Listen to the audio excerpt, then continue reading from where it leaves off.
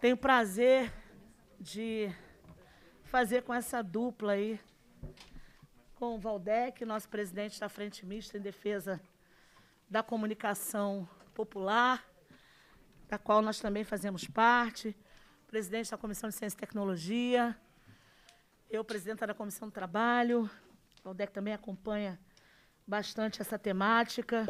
A gente quer agradecer imensamente aos trabalhadores e trabalhadoras é, da EBC, né, que estão firmes nessa luta em defesa da memória, da cultura, da história, das artes, da nossa própria identidade, né, Berta? Então, Tá abrindo, essa audiência, vejo aqui doutora Helena Teodoro. Estou sem óculos, a gente. não gente. Tá ouvindo, ela já está falando, ó. Isso, estou falando já. sem áudio do local. Não, pois é. Só pedir cuidado aí quem tá quem está. No modo remoto, né? Quem está na técnica para tá mutar. Obrigada. Eu já quero convidar nosso querido Paulo Jerônimo para nos ajudar aqui a compor a mesa, presidente da Associação Brasileira de Imprensa. Também a Virgínia Berriel, para já vir para cá, estar conosco e darmos abertura à nossa audiência pública de hoje. Pedir aqui a ajuda do Valdec também para nos ajudar na hora de tomar aquele copo d'água. e nessa condução tão importante, também sempre ao lado aí dos trabalhadores e trabalhadoras. Bom, essa audiência, como eu disse inicialmente, dando já abertura oficial a ela, ela nasce da luta dos trabalhadores e trabalhadoras da EBC. Ah, Leonel Quirino já está aí? Tá aqui? Vocês deixaram o Leonel de fora, né, gente? Vocês são fogo. Aguerrido, companheiro.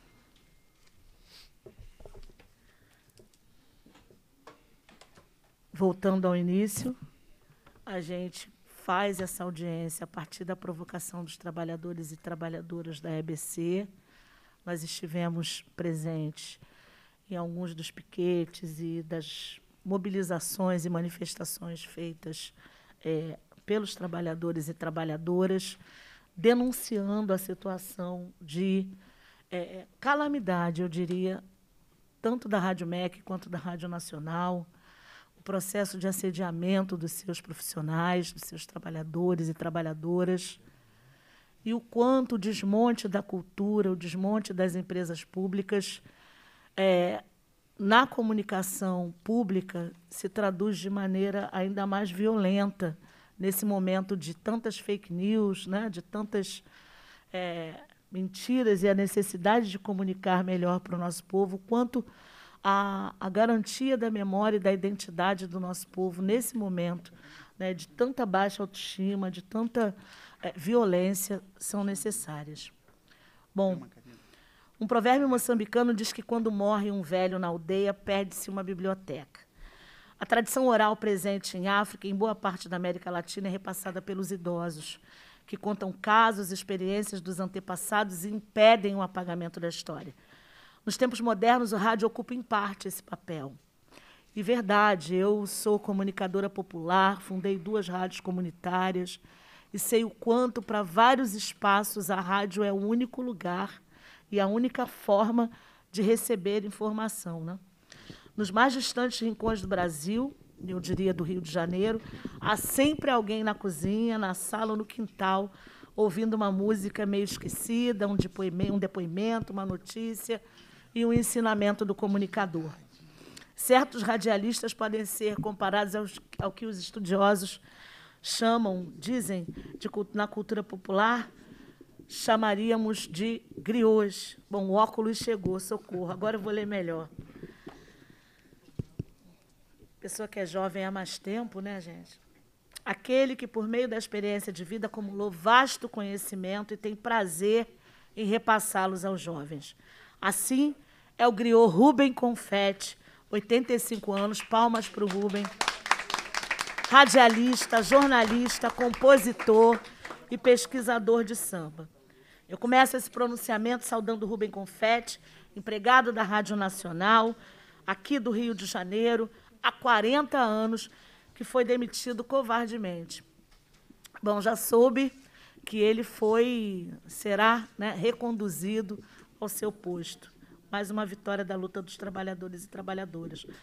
Sem o pagamento de nenhum direito trabalhista por parte da EBC. A empresa, no ato da sua demissão, usou subterfúgio da legislação alterada imoralmente pela reforma da Previdência, a deforma da Previdência, parte do golpe institucional que começou em 2015 né, e se concluiu em 2016, para descartar o que tem de mais precioso, seus empregados. Repudiamos a demissão de todas as pessoas com mais de 75 anos e colocamos a Comissão de Trabalho da Alerj à disposição. Se querem demitir, que paguem todos os direitos. Nós agradecemos a presença de todos e todos. Queremos agradecer a presença dos músicos aqui e dizer o quanto a presença de vocês nos alegra. Acho que todo mundo está ouvindo. Música é arte, mas é ato político. A gente sabe o quanto a música transforma, ela. Acho que está todo mundo ouvindo, né? Como a música é transformadora, né? o quanto ela serve como voz de resistência, de luta, e o quanto ela pode curar também. Então, agradecer a presença magnífica de vocês aqui nessa manhã.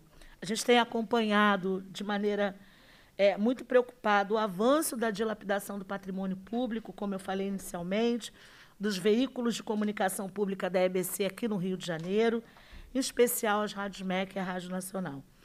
Nós temos muito para ouvir sobre essas emissoras, com certeza, e várias perguntas para serem respondidas. Por que não migrar a MEC AM para a FM, por exemplo? Já foi feito esse pedido à Anatel? Qual o plano da EBC para cobrir a ausência das emissoras no interior do nosso estado, por exemplo? Nós estamos atentas ao patrimônio público de valor histórico e cultural, que está em risco, né? infelizmente.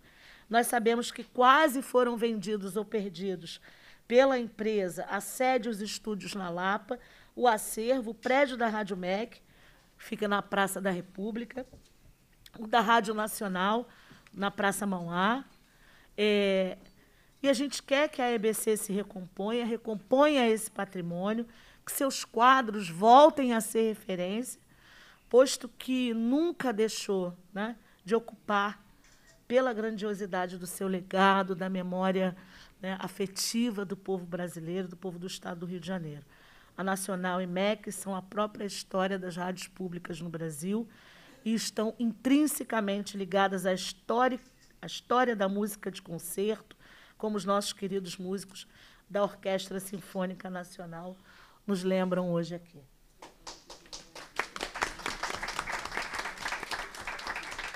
A comunicação pública. Pois não. Vários desses músicos são oriundos da Rádio MEC, formados lá na Rádio MEC. Eu estive conversando com eles. Isso é muito importante. A comunicação pública tem uma história. Após intensos debates entre a sociedade civil e setores governamentais, a EBC, criada em 2007 para dar materialidade ao artigo constitucional que trata sobre a complementariedade dos sistemas de comunicação, é fundamental. Então, com o surgimento da EBC, como pressuposto de uma democracia que seria capaz de garantir a promoção dos direitos humanos, a educação e a cultura. A nossa expectativa desde então era que a EBC se consolidasse como um contraponto à mídia comercial, fundada pela elite brasileira escravocrata, e até hoje gerida por descendentes dessa elite para atender os seus interesses.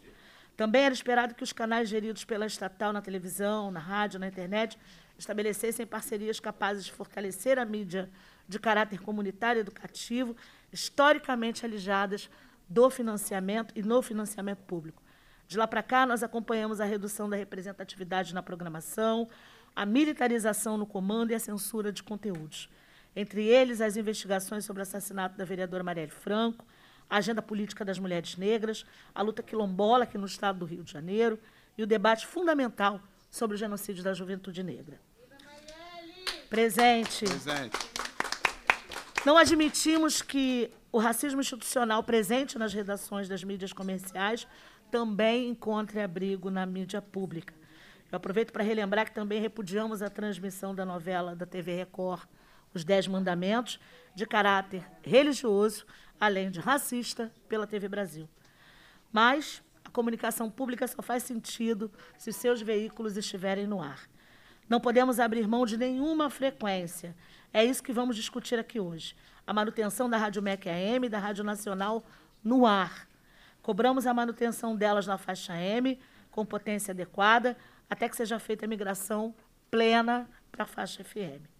E também queremos frequências no interior do estado do Rio de Janeiro, para que nenhum ouvinte fique para trás. Hoje, a EBC, com sites de notícias, a TV Brasil, as rádios MEC AM FM, além da Rádio Nacional, empregam cerca de 400 profissionais. Não podemos abrir mão de nenhum desses empregos, pensando o Rio de Janeiro como referência na área cultural e audiovisual e do mais desesperador, né? O cenário de desemprego que vivemos aqui no Rio de Janeiro. EBC, respeite seus empregados e empregadas, uma população com acesso à informação ampla e a produtos culturais diversos. É por isso que lutamos. A educação e mais consciência dos seus direitos. A EBC não é do governo, a EBC é do povo. Muito bom. Quero saudar aqui também a presença do nosso sempre presente doutor João Batista Bertier, nosso querido companheiro sempre presente, né? promotor-geral do Ministério Público do Trabalho, procurador-geral do Ministério Público do Trabalho, sempre conosco aqui. É... Bom dia, tudo bem? Recebi aqui o deputado André Ciliano, não estou conseguindo, entrou? Ah, está no Zoom. Não consigo vê-lo aqui. Então, nós, já que ele está no Zoom, eu inicio a audiência passando já para uma saudação do presidente da Assembleia Legislativa do Estado do Rio de Janeiro, deputado André Ciliano.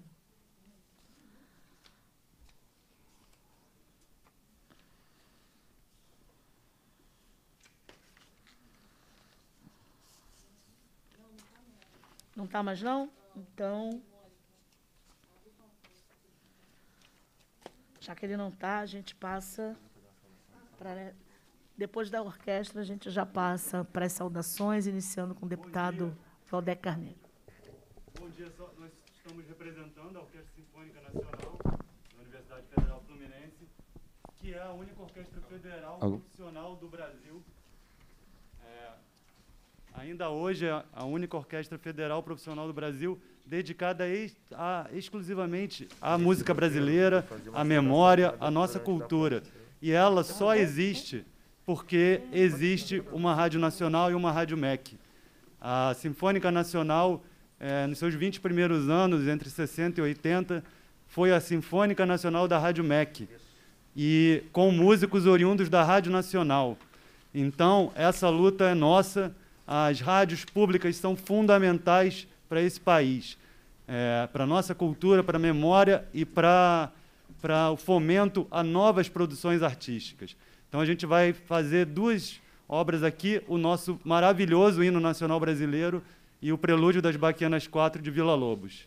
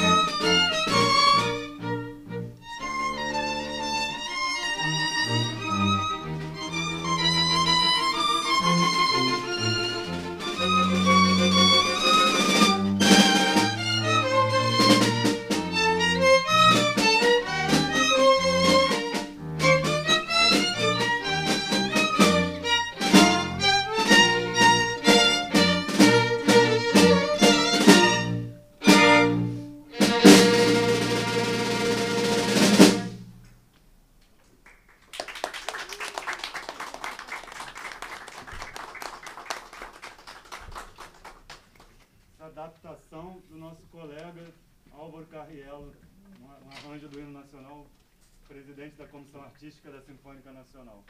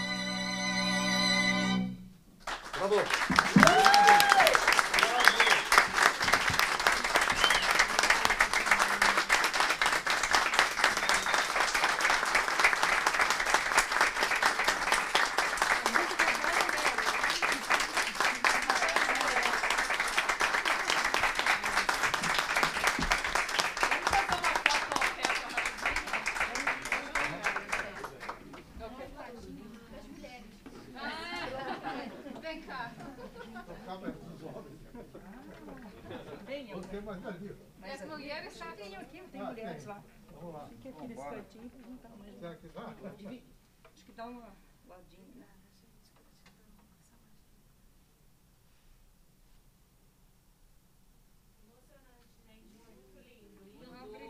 Viva a Rádio MEC, viva a Rádio Nacional, viva a música brasileira.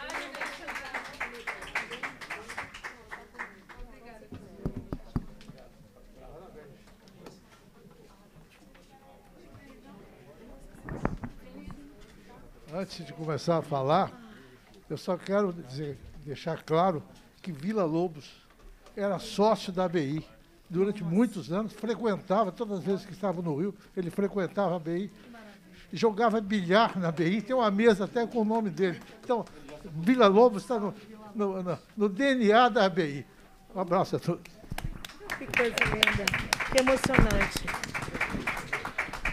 Bom, sem mais delongas, eu passo ao queridíssimo deputado Valdec Carneiro, nosso presidente na Frente Mista em Defesa da Comunicação Popular, e nos abrilhantando a mesa dessa audiência nessa manhã. Por favor, deputado Valdec Carneiro. Bem, bom dia a todos, a todas, a todes. Eu quero saudar esta audiência pública conjunta da Comissão de Trabalho e da Frente Parlamentar em Defesa da Democratização da Comunicação em torno de uma pauta tão central e tão importante. Antes, quero registrar é, a emoção, né? Nossa, de iniciarmos essa jornada com a apresentação nossa. da Orquestra Sinfônica Nacional da UF, meus colegas da Universidade Federal Fluminense, meus colegas e minhas colegas, e lembrar, como você começou a contar, que essa orquestra esteve a perigo, não é? Quando o então presidente da República, de triste memória para esse país, Fernando Collor de Mello, é, é, decidiu é, que a orquestra seria extinta e seus servidores e servidoras, músicos e músicas, seriam colocados em disponibilidade. Né? Na ocasião, é, é preciso fazer o, o devido registro, além da, da, luta e do movimento dos próprios artistas, né, integrantes da orquestra, é, se levantou a voz da Universidade Federal Fluminense. Né? Eu iniciava minha carreira docente lá na UF, era o início dos anos 90, e, e na reitoria da universidade estava um professor é, que dirigia a universidade pela segunda vez, é, de nome José Raimundo Martins Romeu. E é preciso dar o devido crédito é, às lutas e aos protagonistas dessas lutas. E o Raimundo, como reitor da UF, é, é, e em diálogo com os movimentos sociais da universidade, em diálogo com, com os artistas, músicos da Orquestra Sinfônica Nacional do, do MEC, da Rádio MEC, é, decidiu, num gesto ousado, é, é, trazer toda a orquestra para a Universidade Federal Fluminense. Então, a Orquestra Sinfônica Nacional da UF é, é, é, a Orquestra Sinfônica Nacional da UF por essa história. É um orgulho para nós da UF, né? Termos feito essa luta e contarmos é, com essa orquestra como parte integrante é, da nossa grande Universidade Federal. por outro lado, eu quero lembrar também a luta dessa orquestra, já como Orquestra Sinfônica Nacional da UF, né, no sentido é, da recuperação de um patrimônio cultural que estava sob grave ameaça da especulação imobiliária em Niterói. Muitos aqui conhecem é, é, o antigo Cinema Caraí, ali na Praça Getúlio Vargas, né, é, praticamente vizinho da reitoria da UF. E o cinema fechou, Mônica. E o cinema era é, é, é, um espaço cultural e, e afetual da cidade muito grande.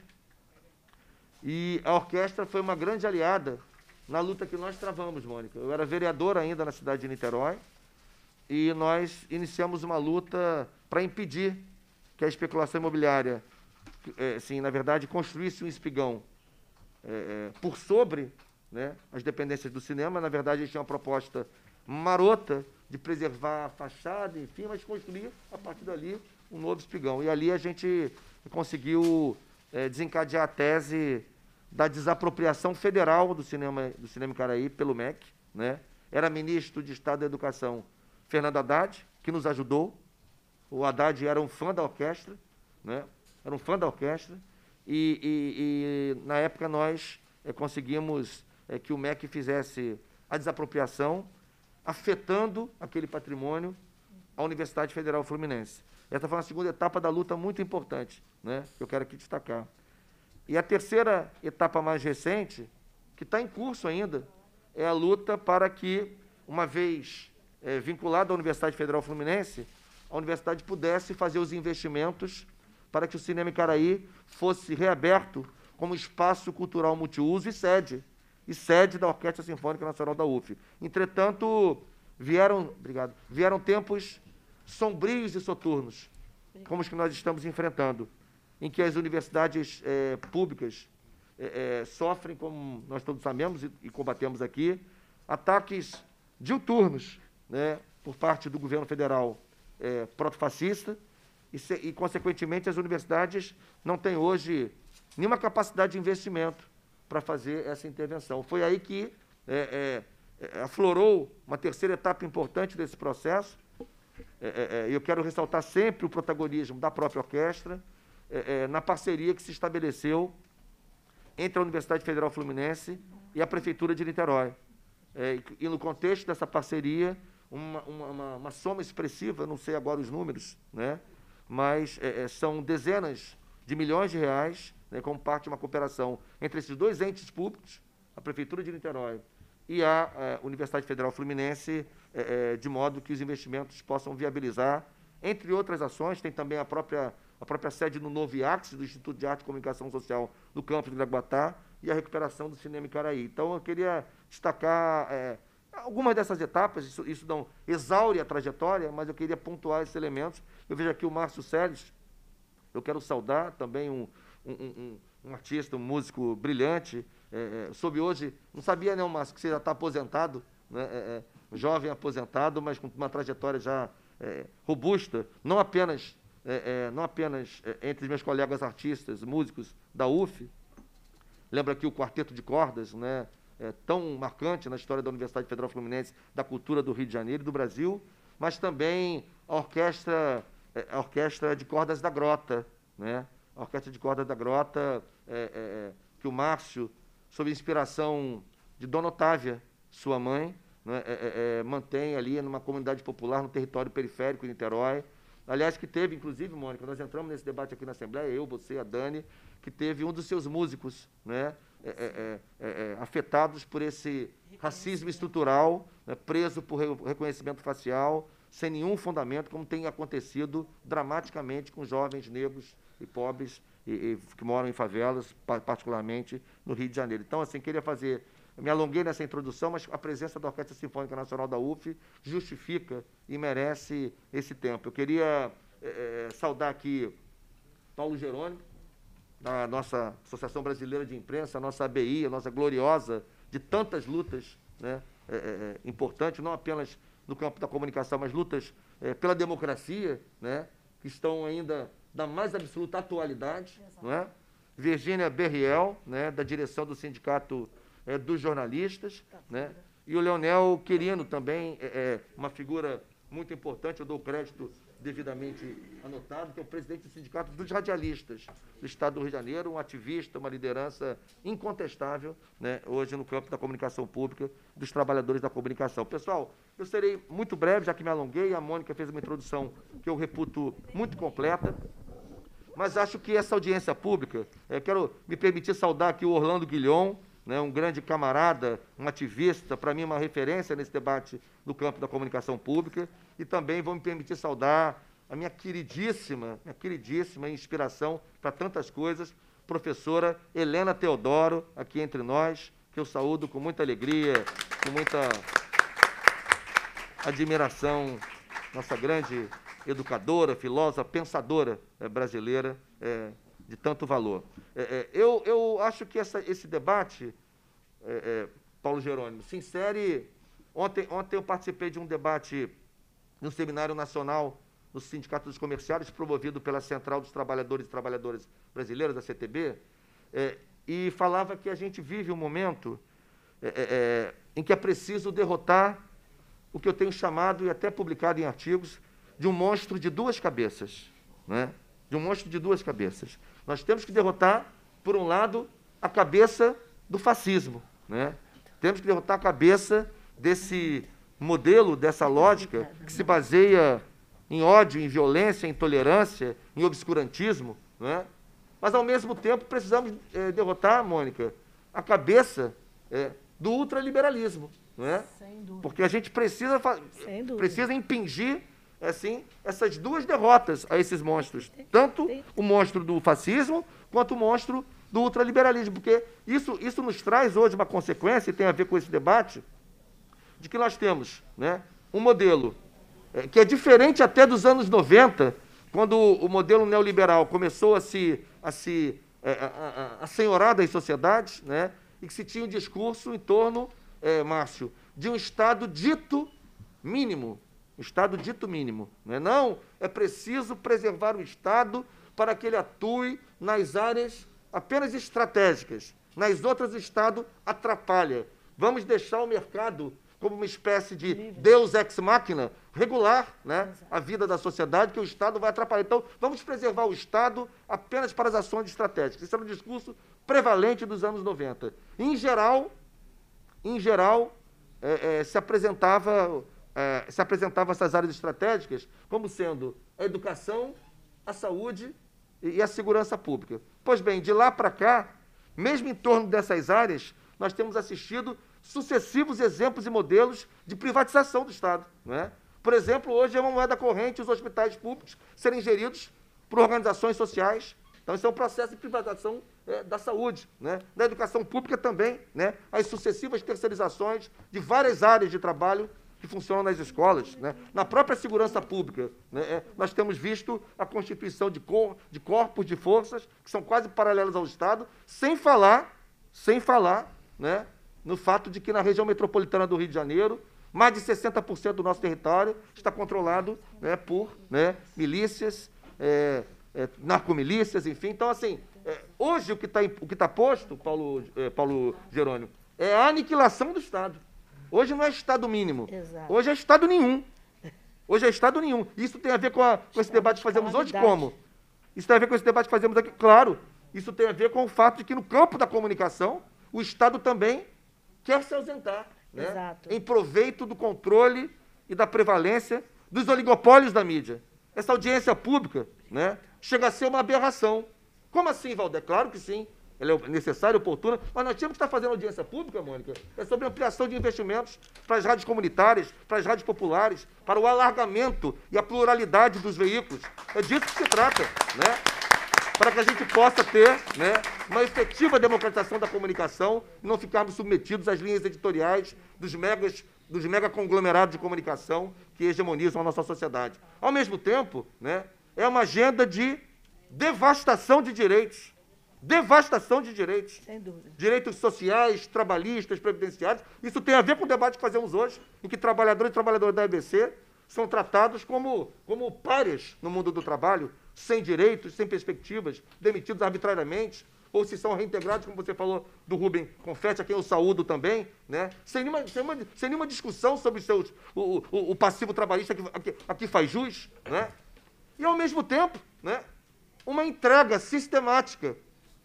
Então, falo de, de aniquilamento do Estado, devastação de direitos e uma entrega sistemática das nossas principais reservas de riqueza e potencialidades estratégicas ao controle do capital internacional. É a Petrobras transformada numa empresa única e exclusivamente preocupada com o lucro dos seus acionistas. É a tentativa de entregar né, a Eletrobras. E é a tentativa de privatizar a comunicação pública.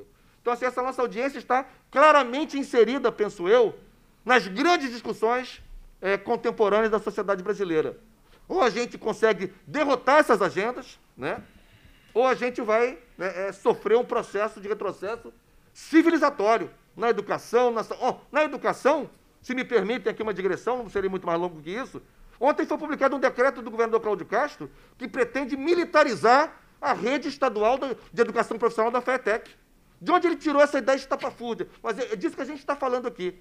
O debate que fazemos hoje tem a ver com o enfrentamento das macro questões hoje civilizatórias no contexto da sociedade brasileira. Temos que restaurar o papel do Estado, temos que restaurar a agenda de direitos e temos que restaurar o projeto de soberania que mantenha sob controle do Estado e com participação protagonista da sociedade civil os nossos principais patrimônios, entre eles os patrimônios do campo da comunicação. É uma aberração que a, é, que a Rádio MEC, que a Rádio Nacional estejam submetidas a esse risco, com tudo o que elas representam na história da radiofonia brasileira. A Rádio, a Rádio Nacional é, se confunde, se confunde né, com a consolidação de marcos importantíssimos da cultura brasileira. A Rádio Nacional era o palco, o palco central das mais importantes manifestações culturais em boa parte do século passado e segue sendo muito importante. A Rádio MEC, né, não, se, não se pode falar de educação brasileira, não se pode falar de educação brasileira sem falar da, sem falar da radiofonia educativa, sem falar da Rádio MEC. Portanto, eu quero aqui dizer, eh, Mônica, que nós estamos aqui na Comissão de Trabalho, por você brilhantemente presidida, na Frente Parlamentar pela Democratização da Comunicação, que eu presido, com a participação de vários colegas parlamentares, inclusive da Mônica, entrincheirados em defesa da democracia, porque não há Estado democrático de direito sem democratização da comunicação, e entrincheirados em defesa da comunicação pública, estatal, popular e da Rádio Nacional e da Rádio MEC. Vamos em frente, a vitória será nossa. Muito obrigada, deputado Valdec. Quero anunciar que o vereador Raimon, companheiro também, que encerra fileiras nessa luta, está a caminho. A assessoria dele já está aqui conosco. Obrigada, só para já avisar que ele está correndo, já já ele chega aqui. Nós vamos passar agora rapidamente um vídeo de apoio, um vídeo mensagem da atriz escritora recentemente eleita imortal da Academia Brasileira de Letras, Fernanda Montenegro.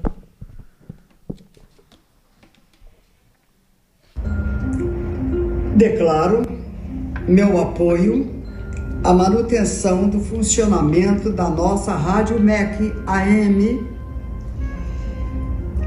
Estão sendo pleiteadas duas coisas importantes, fundamentais neste momento. A elevação das rádios EBC à condição de patrimônio material do Estado e a migração das rádios do Rio para a FM, já que o AM acaba no próximo ano. Vamos dar perpetuidade a esse meio de comunicação histórico, um meio de comunicação que vem desde 1936. Vamos salvar a Rádio MEC. Obrigada.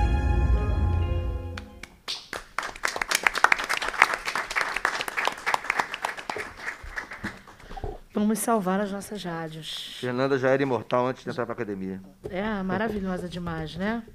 Que, que mensagem. Muito, muito emocionada também, né?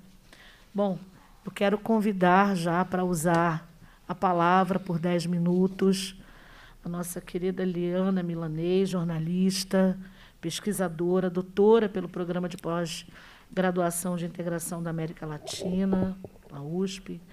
Ela foi gerente executiva da Rádio MEC, aqui no Rio de Janeiro, entre maio de 2007 e dezembro de 2011. Liana, querida, muito obrigada pela sua presença. Você dispõe de 10 minutos. Nós vamos avisar você com Faltando um minutinho, a gente tenta te avisar, tá bom, querida? Muito obrigada, bom. seja muito bem-vinda. Bom dia, excelentíssima deputada Mônica Francisco, deputado Valdec, a todos que compõem a mesa. Eu estou vendo aqui companheiros da Rádio MEC, como Orlando Guilhom, Renato Rocha, Helena Teodoro. Eu, em nome deles, eu gostaria de saudar todos os profissionais, a todos os ouvintes da Rádio MEC, e dizer o seguinte: eu, como pesquisadora, né, e como autora dos livros Rádio Mec Herança de um Sonho, e, e con, continuo nessa, nessa labuta da pesquisa e a tristeza de acompanhar os destinos dessas emissoras públicas. Eu venho aqui para defender a Rádio MEC, a Rádio Nacional, óbvio, porque a Rádio Nacional também tem uma história linda, embora seja bem mais jovem, mas também com uma história fantástica. Eu, antes de tudo, eu queria lembrar que de Roquete Pinto e saudar Roquete Pinto, que foi o grande pioneiro que criou essa essa a Rádio Sociedade e acabou sendo foi tanto pioneiro na criação quanto foi altruísta na doação ao doar emissora para o Ministério da Educação e Saúde na gestão de Gustavo Capanema. E até a propósito disso, eu peço licença para ler um textinho do Carlos Drummond de Andrade, que escreveu uma crônica nos 25 anos da emissora. E ele disse assim: Foi há 25 anos, lembro-me bem, Roquete Pinto tomou o elevador do edifício Rex e procurou o 16 no 16º andar o ministro Gustavo Capanema. Ia dar-lhe de graça o prefixo, o equipamento, a tradição da Rádio Sociedade do Rio de Janeiro. Tudo isso, que parecia pequeno e era imenso, passava a pertencer ao Ministério da Educação sem qualquer indenização aos proprietários. Todos eles professores, cientistas, homens de letras. Nada, nada, apenas uma palavra Roquete Pinto queria receber em troca de sua emissora. E o ministro perguntou: E que palavra é essa? E ele respondeu: O compromisso de que a rádio continue a fazer obra cultural e nunca, de forma alguma, faça política. Eu acho que isso é muito é importante de trazer o Graciliano Ramos aqui, porque ele foi, aliás, o Carlos Drummond de Andrade, perdão, Graciliano, também todos eles participaram dessa rádio, né, todos os autores, num programa que se chamava Quadrante, era um programa de literatura, porque era a perspectiva de que a literatura, a poesia, chegasse aos ouvintes, mesmo aqueles não letrados. E acho isso muito importante. E essas palavras do Drummond, que participou no momento da doação, ele era assessor do ministro Capanema, quando a rádio foi doada, e ele, ele testemunhou os vários momentos, porque num primeiro momento, quando o Roquete resolve doar a emissora, o, Getúlio né, responde, o ministro, olha, o, presidente Getúlio Vargas aceita a doação, mas pede que ela seja doada para o, o governo, que vai ser dirigida pelo DIP, que era o Departamento de Imprensa e Propaganda. E o, o Roquete, em resposta, disse que não aceitava. Ele estava doando a rádio para o povo brasileiro. Eu trago isso agora porque eu acho que esse é um momento de se defender e saúdo a, a deputada Mônica Francisco, por esse gesto, por essa audiência pública importantíssima, porque esta rádio sofreu ao longo da sua história vários momentos, momentos brilhantes e momentos de muita tristeza, tentativas de tirar, de, de passar, de, de, de, usurpar dessa rádio. Né? Foi dentro do legislativo quando assumiu, mas depois se retornou. Aí ela foi trocando de mão em mão, passou por vários e hoje está na SECOM. O que é muito triste que hoje ela é uma, é uma as emissoras públicas hoje, né, dentro da IBC, estão hoje nas mãos de um governo de plantão, que é temporário, mas que toma de assalto e destrói e tem a coragem irracional de fechar uma emissora, de extinguir um sonho e uma história. Eu queria lembrar assim, eu na, na, na pesquisa para fazer os livros foram dois anos de intensa pesquisa, de navegar pelos pelos arquivos, de ir para a Biblioteca Nacional, para um, a Penha, onde tinha o arquivo morto. E assim eu, ouvi muitas pessoas que fizeram a história que já não estão entre nós mais. Eu tive assim a, a sorte de ouvir muita gente que infelizmente já deixaram esse mundo e que, que fizeram parte dessa história e contaram o amor que tinham por essa instituição. Acho assim de uma loucura como tudo está sendo feito nesse momento por esse governo, eu vejo isso, o que está acontecendo nesse momento, só assimilar, em termos de gravidade, que foram vários momentos, Obrigado. vários gestos de descontinuidade que essa emissora sofreu. Mas eu vejo, assim, pela gravidade, o momento da ditadura, quando Exato. alguém... Está me ouvindo? Sim, perfeitamente.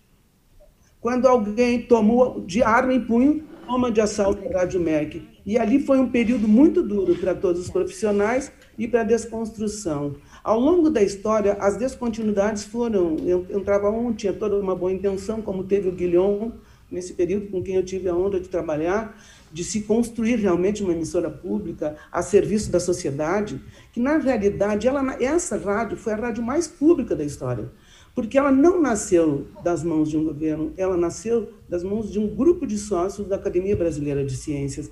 Então ela nasceu já com essa marca de ser uma emissora pública. E foi, na minha opinião, a mais pública de todas. E continua sendo a sua história a mais pública, porque o que o, Roquete fez em termos de múltiplo Ele, foi, ele era conhecido, aliás, foi definido pelo Rui Castro, num, num perfil que fez sobre ele, como um homem multidão. E esse homem multidão, que tinha uma visão complexa da sociedade, do mundo, ele fez uma rádio com essa mesma perspectiva, que incluía a música, incluía os noticiários, incluía a literatura. Era, era, era uma rádio que, que visava a cultura, a arte e a informação. E essa rádio continua a ser isso hoje, desde que lhe permitam, sem a censura, que eu tenho conhecimento intenso que está sendo muito forte agora.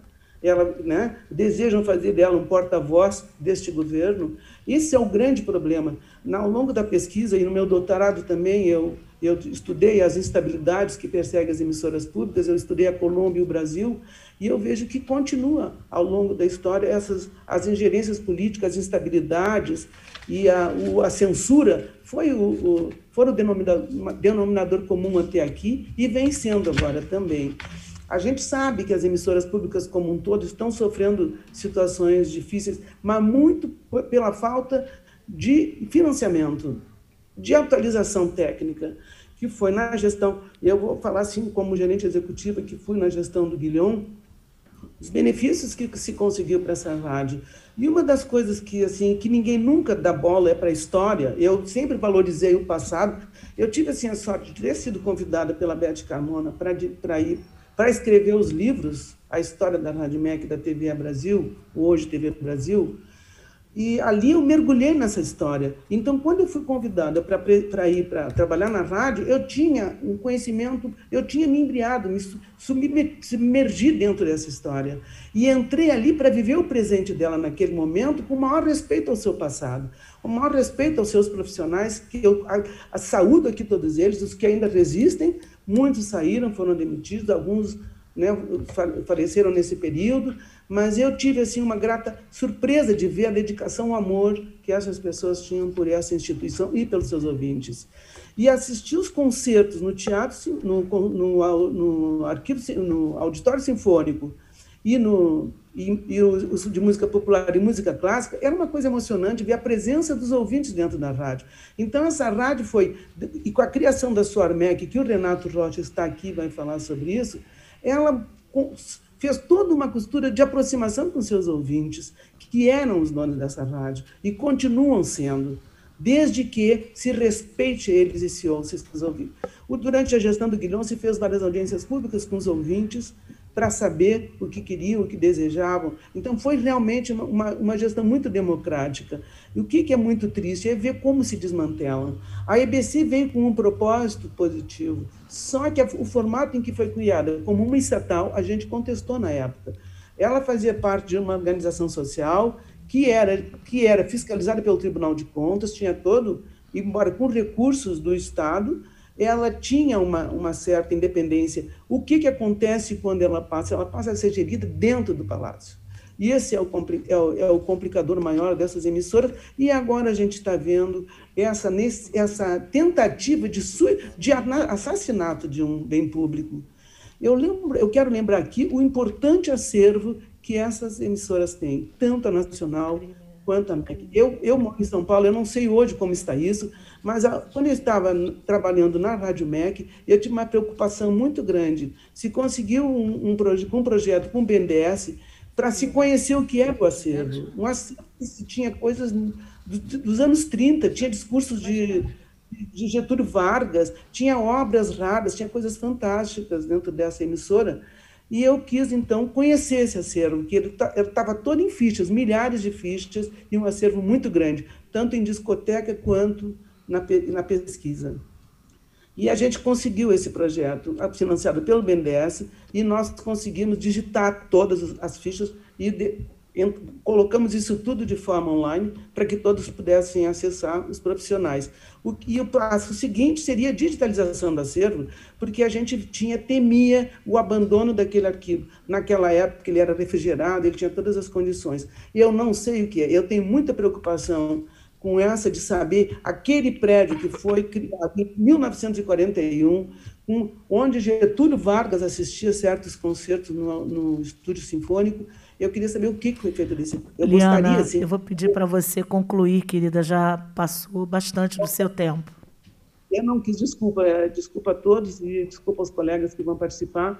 Eu, eu quero mesmo concluir que eu fui me entusiasmando, eu não quis ler, e aí eu entrei. Mas, deputada, muito obrigada por essa sua audiência pública, por esse ser importante mandato. Eu admiro muito a sua história e o seu atual mandato. E, e peço, e também cumprimento a todos os companheiros e colegas nessa defesa. E contem comigo para o que precisar. Muito obrigada. Muito obrigada. Eu quero chamar a atenção é, tanto dos companheiros e companheiras que estão à mesa aqui presencialmente, e quem é, está pelo Zoom, também as autoridades, que possam é, se atentar para o diálogo aí no chat, que a gente está ajudando a organizar o tempo. Então, olhem de vez em quando para a caixinha de diálogo, se não estiverem cronometrando, para a gente deixar vocês à vontade, não cometer essa indelicadeza de ficar é, pedindo para concluir, viu, Liana? Desculpe, mas precisava. É, obrigada pela deferência, muito obrigada pelo carinho, obrigada pela sua presença. Olha, a, a minha chefia aqui me orientou a, a, de que o tempo, né, para a gente remir o tempo, a minha chefia, que está ali de rosa sentada me olhando, achou por bem que a gente trabalhasse por sete minutos. O deputado Valdec já tinha aqui também feito um bizuzinho. Então, a gente faz esse novo acordo de procedimento, tá bom, gente? Para a gente ter um tempo bacana, conseguir discutir e passar para os encaminhamentos. Então, eu quero convidar agora para fazer uso da palavra por sete minutos. Sete minutos. Ele já até sabe. Orlando Guilhom, ex-superintendente da Rádio ABC, ex-diretor da Rádio MEC, ex-presidente da ARPUB, Associação de Rádios Públicas do Brasil e ex-coordenador da Rede Nacional de Comunicação Pública, rádios da EBC, ativista e dirigente do FNDC e da Fale Rio. Você dispõe de sete minutos, Solano. Obrigada pela sua presença. Mônica, é, parabéns licença. pela luta. Mônica, com licença, desculpe, Guilhão, eu queria, acho importante registrar, está entre nós aqui o nosso querido companheiro vereador Raimon, vereador da cidade do Rio ah, de Janeiro. Raimon chegou.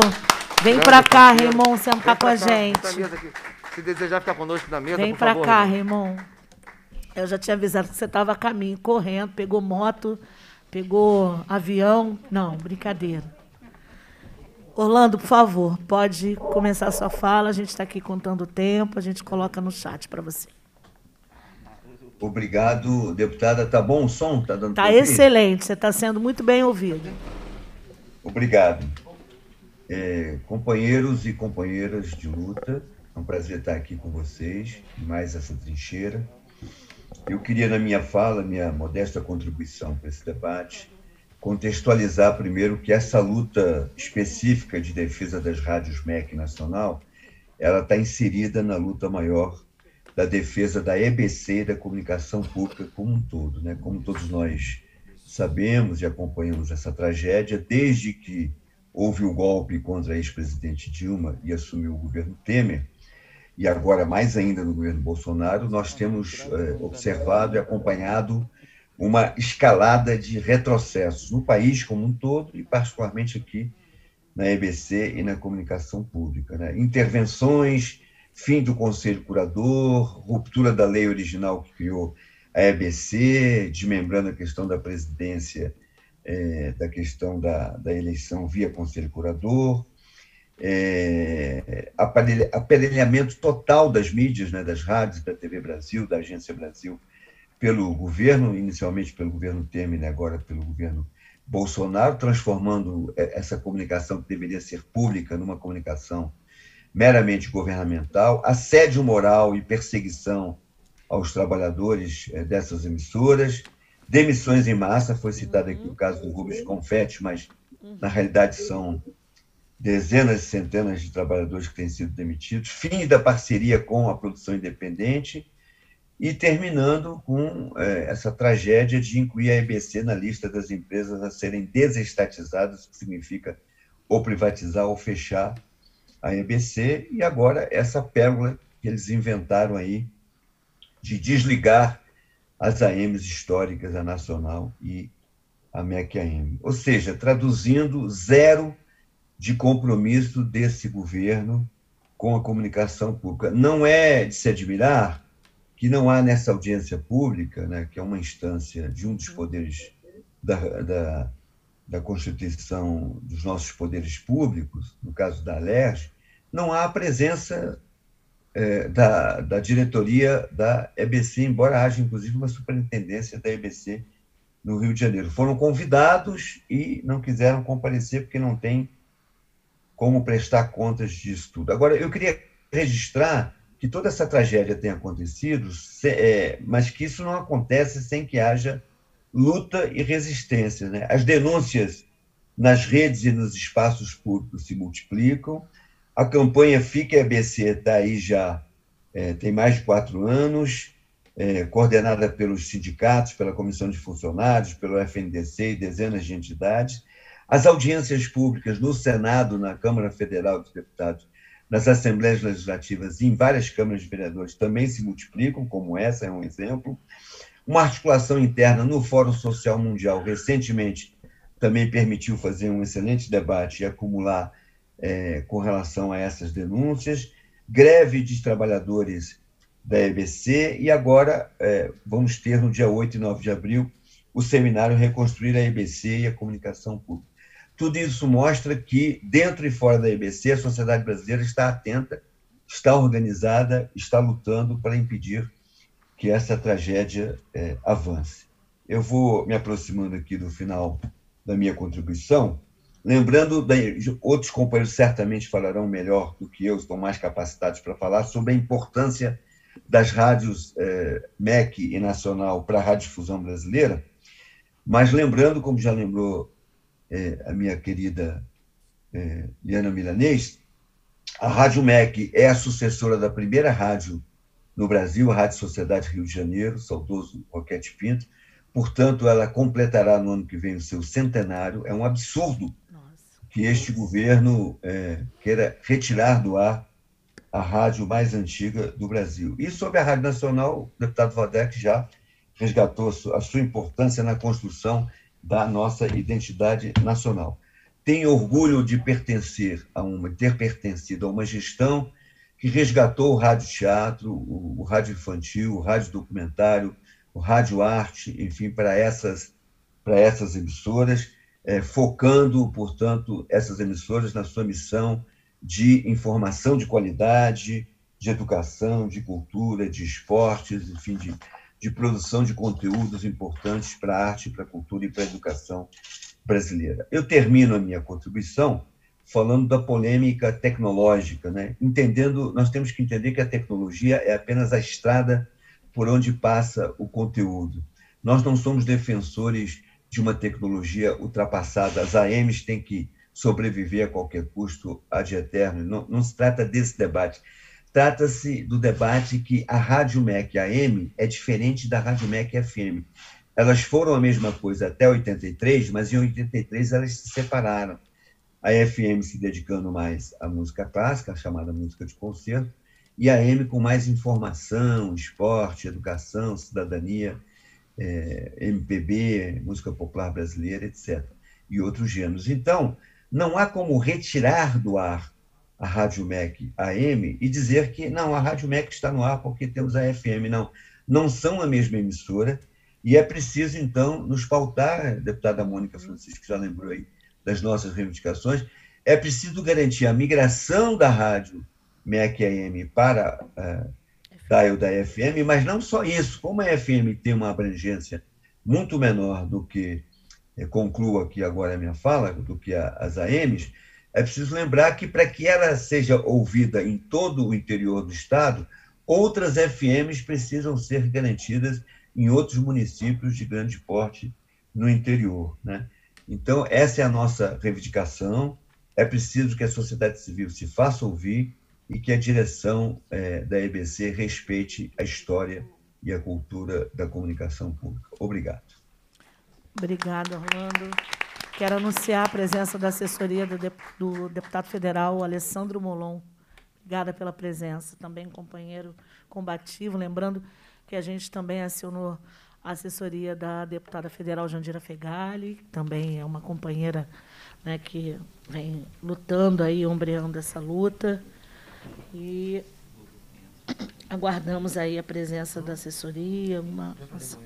Bom, seguindo aqui, quero convidar ela, maravilhosa, nossa referência, doutora Helena Teodoro, que é bacharel em Direito e pedagoga, mestre em Educação, doutora em Filosofia e pós-doutora em História Comparada, pesquisadora da História da Cultura Afro-Brasileira e professora da UFRJ, ex-funcionária da Rádio MEC. Doutora Helena Teodoro, nossa referência maravilhosa, musa, diva. A senhora dispõe de sete minutos para o uso da palavra. Bom dia para todos e para todos. É muito emocionante poder falar da Rádio MEC, que faz parte da história da minha vida e da Rádio Nacional.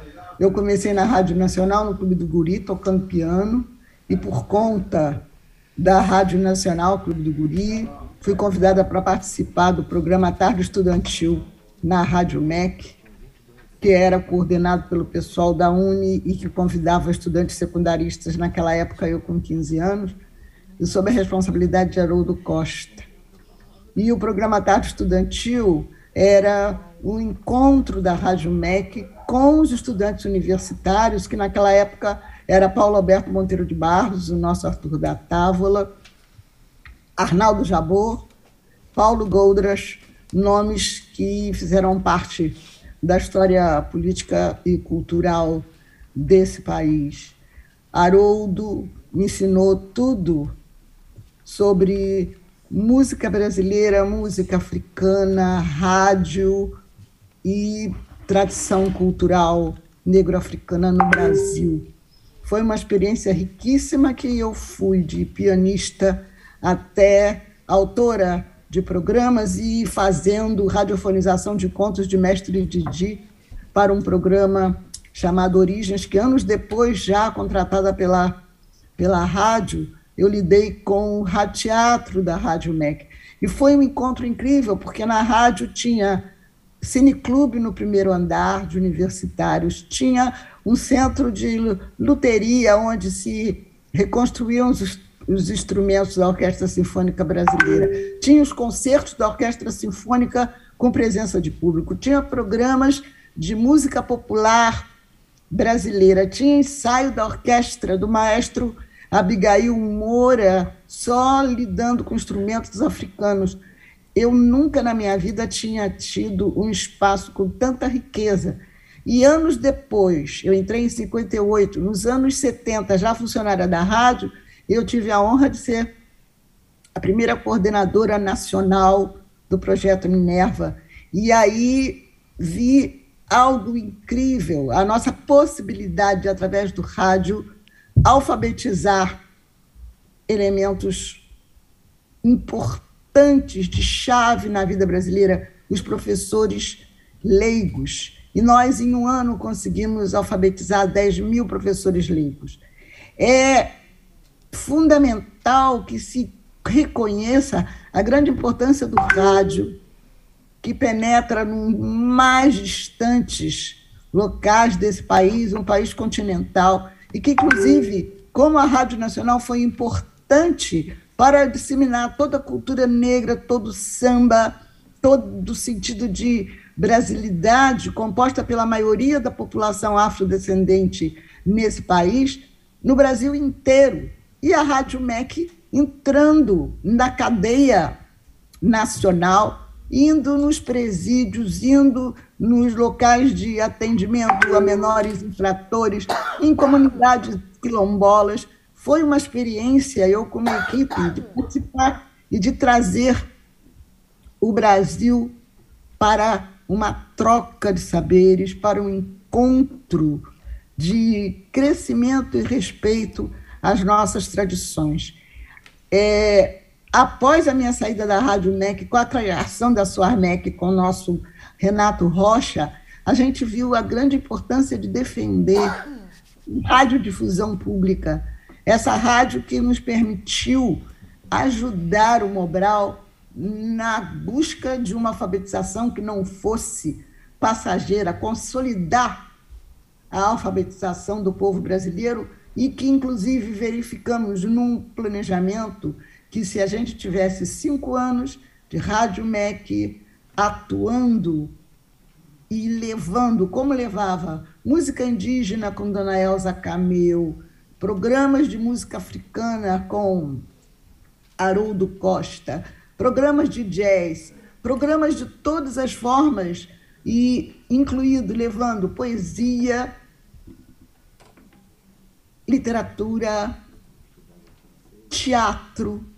Tivemos Fernanda Montenegro na rádio, tivemos Nissete Bruno, tivemos Paulo Goulart, tivemos os grandes artistas da TV Globo que se lançou inicialmente presentes na nossa rádio. Então é impossível que se perca esse patrimônio, seja da Rádio MEC, seja da Rádio Nacional, que cumpriram papéis importantíssimos de encontro do povo brasileiro consigo mesmo. O rádio possibilita o desenvolvimento da criatividade, o desenvolvimento da imaginação, o aprofundamento e a curiosidade das pessoas pela sua própria identidade, pela sua própria história. E muito que se levou de algo que não estava presente nem nas escolas, nem na universidade, que é exatamente as nossas raízes negras e indígenas. Então, ter a possibilidade de Vila Lobos ao lado de música clássica, ao lado do samba, ao lado de músicas de todo mundo, de jazz, de todas as coisas, é algo que não tem preço. Então, temos que lutar, inclusive, a preocupação de ter a M e FM, que eram coisas diversas. A rádio FM tratava de música clássica e a rádio AM levava todas as formas de saberes para a população, que isso possa se conjugar em termos de alcance, em termos de atendimento a toda a população desse país. A Rádio MEC e a Rádio Nacional representam um patrimônio nacional que não pode ser perdido, que não pode ser vendido, que não pode ser dispensado. E eu deixo com vocês o nosso apelo. Temos que salvar a Rádio MEC e a Rádio Nacional. São patrimônios da nossa tradição cultural negra, indígena e europeia. É todo um retrato do Brasil. Muito obrigada, doutora Helena Teodoro, pela sua intervenção. Também é muito permeada por uma grande afetividade, muita emoção. Né? Muito obrigada pela sua presença e pela sua contribuição nessa mesa. Eu quero aproveitar que sobrou um minutinho para contrabandear três minutos e meio, é, já que o presidente da EBC não irá comparecer, eu acho importante, isso também é uma resposta política, o não comparecimento é, do senhor Glenn Valente, presidente da EBC. Isso responde e fala muito desse processo todo que a gente está discutindo aqui. Quero contrabandear três minutos e meio para o nosso, com a possibilidade de quatro, para o nosso querido presidente da ABI, Paulo Jerônimo, e três minutos e meio para o nosso vereador Raimon. E em seguida nós passamos, logo em seguida, para Valciso Coloto. Mônica, antes do contrabando, eu queria, eu queria me permitir, em 30 segundos, é, fazer uma saudação é, direta aqui à professora Helena Teodoro, porque quando eu cheguei, Helena, quando eu cheguei na Universidade de Gama Filho, como professor, aos 22 anos, felizmente a Gama Filho foi deploravelmente destruída, fechada, mas era o ano de 1988, e a Helena já era uma referência, um luminar, né? E em curto espaço de tempo eu entendi, eu era professor do Departamento de Educação, que era preciso participar das reuniões em que a Helena estivesse participando. Então eu, eu me escalava para estar nas reuniões da Gama Filho, onde a Helena Teodoro participava. E a Helena, fazendo essa narrativa sobre a Rádio MEC, eu lembrei também, é, é, o Guilhão falou do Roquete Pinto. Roquete Pinto teve um papel central também né, é, como educador, né? um dos grandes documentos da educação nacional, que é o Manifesto dos Pioneiros da Educação Nova, de 1932, aliás, que esse ano completa 90 anos, tem entre seus signatários o Roquete Pinto. Então, é lembrar também do papel central né, do Roquete Pinto como um educador do povo através né, é, do rádio, através da radiofonia educativa. Beijo, Helena. Maravilha, Valdec. Muito luxuosa a sua intervenção. Muito obrigada. Passo aqui agora, muito, muito pertinente, muito luxuosa, né? Que bom, né? Coisa boa, no meio de tanta coisa ruim, né? A gente poder fazer essa memória tão boa, de coisas tão importantes que a gente produz nesse país. Mas a gente vai passar por essa tormenta, a gente já passou por outras. Quero passar a palavra, então, ao Paulo Jerônimo, querido presidente da BI, para sua intervenção de três minutos e meio. É, é bem rápido. É, quando chegou lá o convite na BI. Só, só um instante, espera aí. Ele está tranquilo com três minutos e meio, porque na segunda-feira ele será homenageado aqui no plenário da casa com a medalha Tiradentes. Então, Merece. já convido todos Merece. e todas e todos aqui para estarem prestigiando essa figura tão importante. Merece muito. muito obrigado. É, hoje eu vou falar três minutos e meio, mas segunda-feira prometo falar pelo menos meia hora. Não, segunda-feira a festa é sua. mas quando chegou o convite lá na BI, da Comissão de Trabalho aqui da Alérgica, eu fui ver, era a nossa querida Mônica Francisco e o Valdec Carneiro estão sempre envolvidos em boas causas. Temos que a própria presidente da BI vai ter que comparecer e aqui estamos. Quero deixar claro que nesses três anos de mandato nós já emitimos pelo menos umas 10 notas em defesa da IBC, das várias eh, eh, tentativas de esvaziamento, de censura, de, de, perseguição a coleguinhas lá da, da, da, da emissora, da, empresa, e, e, o tempo inteiro entramos, inclusive, na justiça. É, a, a, recentemente, uns dois, três meses atrás, teve até uma censura. O, o general lá de Pontão mandou uma determinação para diminuir o noticiário sobre a Covid, porque estava prejudicando o governo, um negócio de doido. E aí entramos com mais uma nota a respeito. E agora, recentemente, há notícias que estão querendo fechar a, as rádios Nacional e, e MEC. É, é, um negócio, é um negócio assim, impressionante. Eu sou da geração da Rádio Nacional. Eu sou lá do interior de São Paulo, da cidade de Mococa. Meu pai, todo domingo, reunia os seis filhos ligava a Rádio Nacional, o programa do César Alencar, ele Milinha Bob, nós fomos criados com isso. Aí, pô, esse é um patrimônio cultural, a Rádio MEC. Eu trabalhei muito tempo ligado ao Paulo Alberto, nosso Arthur da Távola, em defesa da, da Rádio MEC. Ele era apaixonado pela Rádio MEC. Então, pô, nós temos todo um trabalho, toda uma tradição. A ABI está envolvida nessa luta de, de, de salvação dessas duas rádios e da manutenção da EBC. Conte com a ABI, conta com a nossa trincheira, da nossa luta pela liberdade democrática e liberdade de expressão. Muito obrigado. Muito obrigada, Pagê. Gloriosa ABI. ABI, onde eu fiz o lançamento lá em 2018 da minha pré-candidatura, que esse espaço recebeu gente preta, gente do povo, espaço realmente democrático. É, eu, e... eu, eu conheci a Mônica, conheci não, quando eu soube, porque o nosso auditório é o maior auditório do centro da cidade, depois do Teatro Municipal. Cabe 600 pessoas. Uhum. Então, lotar aquele auditório é, é difícil. Aí eu soube que a deputada lançou a candidatura e lotou. Tinha mais de 100 pessoas fora do auditório que não, não coube lá nas 600 lugares. E eu fiquei impressionado com se conhecer. E a nossa querida Mônica. Estamos aqui, estamos Lotou o auditório da BI. Isso a é um BI. feito notável. Vamos lá, enchemos de povo aquela casa. Mas passando imediatamente para o nosso queridíssimo também, vereador Raimon, lutador, guerreiro, que se ombreia aí conosco nessa luta. Raimon, Três minutos e meio. Grande Raimon. Uma perspectiva de arredondamento. De para quatro. Ele merece, né, gente? É um Muito bom dia para todos. Até porque, eu, como diferente do presidente da BI, nosso querido, eu não terei direito à forra na próxima semana. Né? Então, meus três minutos e meio virarão quatro. Mônica, querida, muitíssimo obrigado. Parabéns. Parabéns a você, a Valdec. Parabéns a essa casa que coloca luz sobre uma questão seríssima que nós estamos vivendo já há muito tempo, né? a luta por uma comunicação livre, a luta por, é, por nossos meios de comunicação, a luta por democratização da comunicação. É uma luta que não nasce agora e não terá o seu ocaso por agora também. Nós sabemos que, ao vencermos, e estamos por vencer, esse momento tão difícil, tão cruel da política brasileira, de tanta perseguição, está ali, né, está ali na esquina, chegando a hora, chegando o momento de nós darmos um basta e de nós retomarmos o caminho de uma comunicação pública, de uma democracia enraizada nos corações brasileiros. mas nós sabemos que essa não será uma tarefa muito fácil e não se dará apenas, por exemplo, com o processo eleitoral. Haveremos depois de ter muitas lutas e nós estamos dispostos a fazer, dispostos a fazê-las.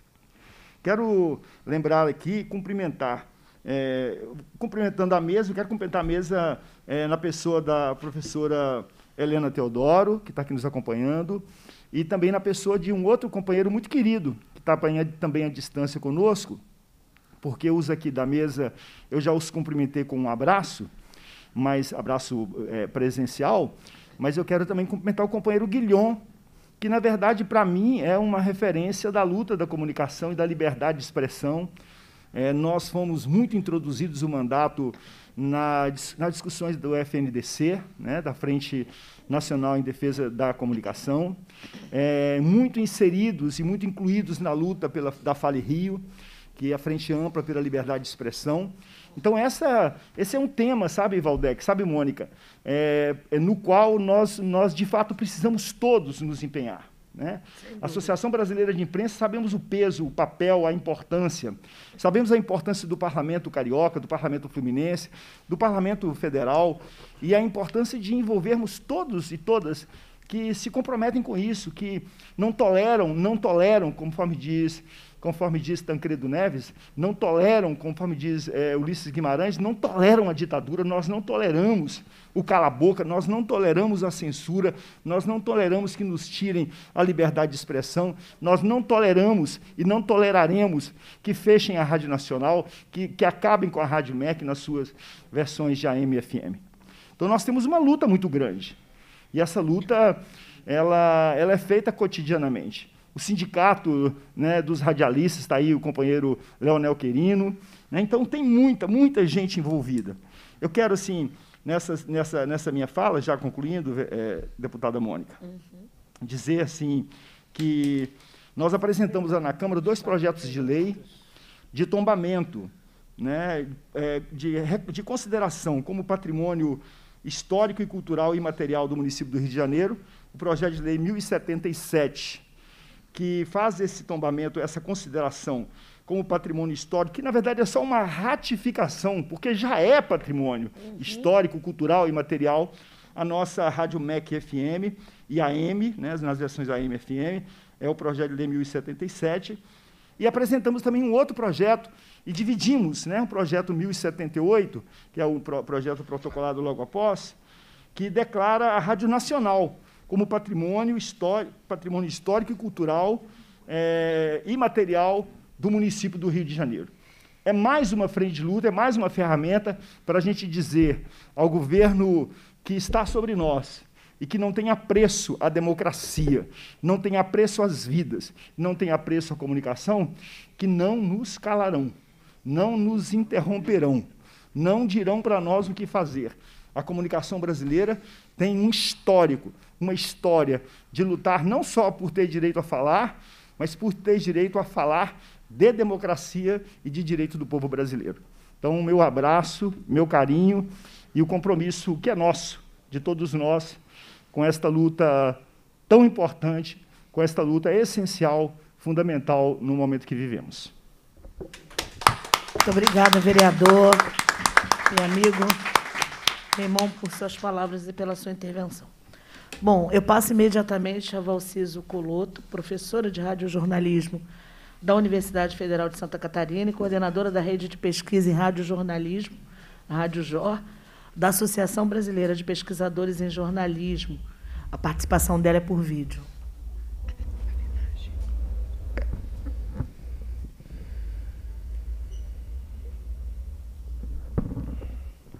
Não estamos ouvindo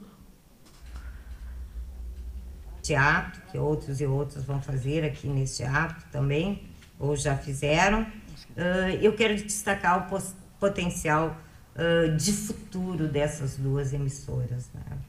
Eu acho que uh, isso é que precisa ser bastante ressaltado neste momento em que outros golpes estão sendo perpetrados contra essas duas emissoras, né? Outros crimes estão sendo perpetrados contra essas duas emissoras. Uh, nessa parte do potencial de futuro dessas da Rádio Nacional e da Rádio MEC, uh, eu quero lembrar o papel do rádio como um todo. Um meio de comunicação secular, o rádio contemporâneo agrega cada vez mais sentido de permanência em adaptação resiliente e mesmo em reinvenção. Expande-se para além da antena das ondas hertzianas, onde migra do AM para o FM, estando ainda em reconstrução nos seus modelos comerciais, uh, estatais e públicos. E também se reinventa na web, com as emissoras que transmitem sua programação do dial igualmente pela internet ou com as estações exclusivas da rede, as web rádios. Sustentado por crescente importância e capacidade de ajustamento, o rádio não é apenas um sobrevivente, ele é um resistente. Alcança a contemporaneidade ainda como um meio imperiosamente necessário, sobretudo pelo também contínuo incremento da centralidade da comunicação e da informação para a construção social da realidade. Nós sobrevivemos e continuamos resistindo a uma pandemia e a tantas outras grandes e pequenas tragédias que nos afetam cotidianamente, como a desinformação, por exemplo. O áudio e o rádio cada vez são buscados mais pela sociedade para informação, prestação de serviço e entretenimento. A Rádio Nacional e a Rádio MEC estão integradas hoje à EBC, Empresa Brasil de Comunicação, que foi instituída em 2007 pelo governo Lula com o declarado objetivo de, abre aspas, fortalecer o sistema público de comunicação. A própria EBC, no seu portal até 2016, definia-se como, abre aspas, uma instituição da democracia brasileira, pública, inclusive, inclusiva e cidadã. Fecha aspas. Assegurava que os seus veículos, além das rádios, a empresa possui TVs e agências informativas. Então, ela assegurava no seu portal até 2016 que tinha independência editorial e que, pela sua independência editorial, os seus uh, veículos, abre aspas, distinguem-se dos canais estatais ou governamentais com conteúdos diferenciados e complementares aos canais privados. Então, é disto que trato de defender aqui, que se cumprirem é, essas, é, esses objetivos né, é, declarados pela IBC ao serem é, ao ser criada lá em 2017 é, ambas, a, ambas as emissoras é isso que eu defendo né que cumprindo esses objetivos ambas as emissoras sejam mantidas, preservadas, atualizadas, técnica e editorialmente, para que cumpram seu papel, cumpram esses objetivos e desenvolvam o seu potencial de rádios públicas. Tá? Elas construíram, ao longo de toda a sua trajetória, de mais de 80 anos, já estão quase com 90 anos, a, a Rádio MEC e a Rádio Nacional, e ao longo de todo esse tempo elas construíram modelos referenciais que vêm influindo e também são influenciados neste campo da radiodifusão, né? no campo não comercial, no campo estatal público, na construção histórica do rádio brasileiro e influindo na própria história do país. Então, já se disse muitas vezes, acho que foi o, o, o Cristiano Menezes, é, que foi da Rádio Nacional, que disse que a Rádio Nacional é, foi a rádio que mostrou o Brasil aos brasileiros. Né? Eu acho que a MEC também uh, fez isso ao longo de sua trajetória. Então, eu encerro aqui dizendo que a Rádio Nacional e a Rádio MEC voltam, voltem a ser rádio capazes de mostrar o Brasil, o verdadeiro Brasil, aos brasileiros e brasileiras. E que os brasileiros e as brasileiras possam se expressar e se sentir expressados, expressadas por estas emissoras. Este é o futuro, o potencial futuro que essas duas emissoras têm. Um futuro, como eu disse, já melhor e mais digno, não só para as emissoras, mas em sendo um futuro melhor e mais digno para essas emissoras, será um futuro melhor e mais digno para suas audiências, para seus públicos, para o Brasil e para toda a sociedade brasileira. Fica a Rádio MEC, fica a Rádio Nacional. Muito bem.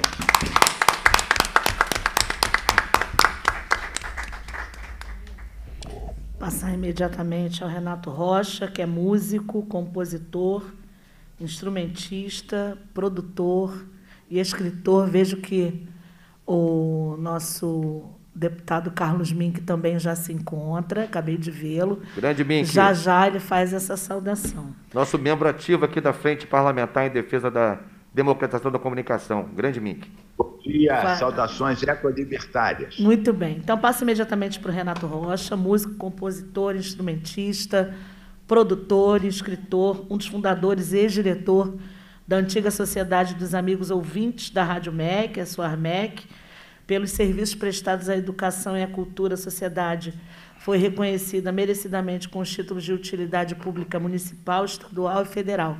Renato, você dispõe de sete minutos.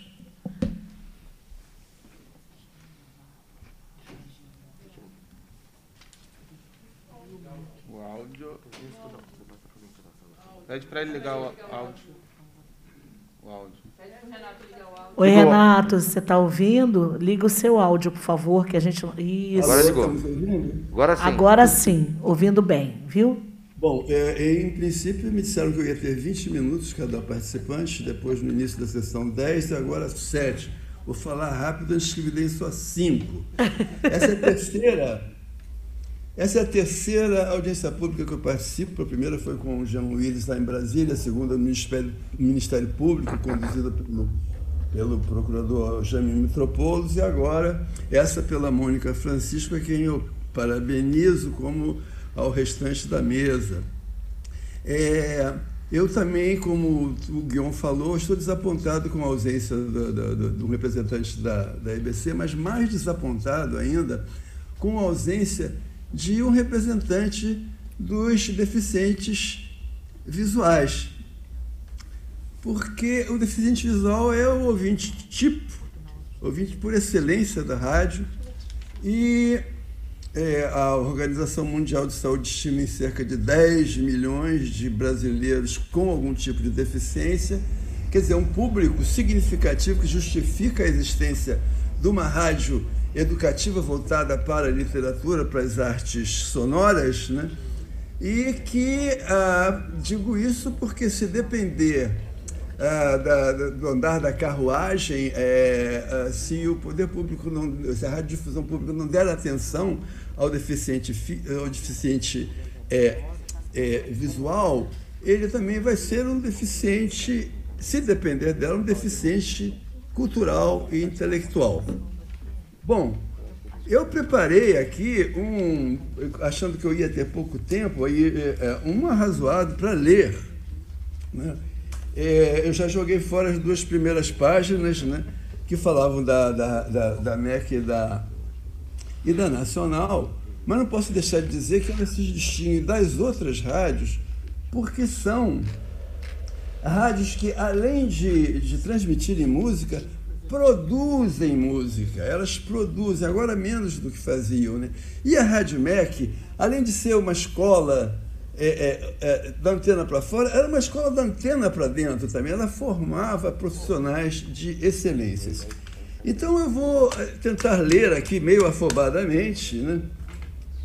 o que eu acho que é um panorama que nem todo mundo conhece da história da Rádio MEC. Né? Eu sou produtor da rádio, eu trabalhei na rádio por quase 40 anos e para a rádio por 23 anos como diretor da Sociedade de Amigos, que foi fundada por mim, Luiz Carlos Saroldi e, e Sérgio Cabral Pai. Né? Então, tendo trabalhado tanto tempo, eu tenho a obrigação de conhecer perfeitamente bem a trajetória da emissora, uma trajetória que graficamente poderia ser representada por um V invertido, pois a rádio viveu uma extensão ininterrupta até o seu apogeu e, em seguida, após o golpe de 64, começou a descer a ladeira, a ladeira e enfrentou uma lenta e inexorável decadência ao longo de todos os governos, de todos os partidos e colorações políticas.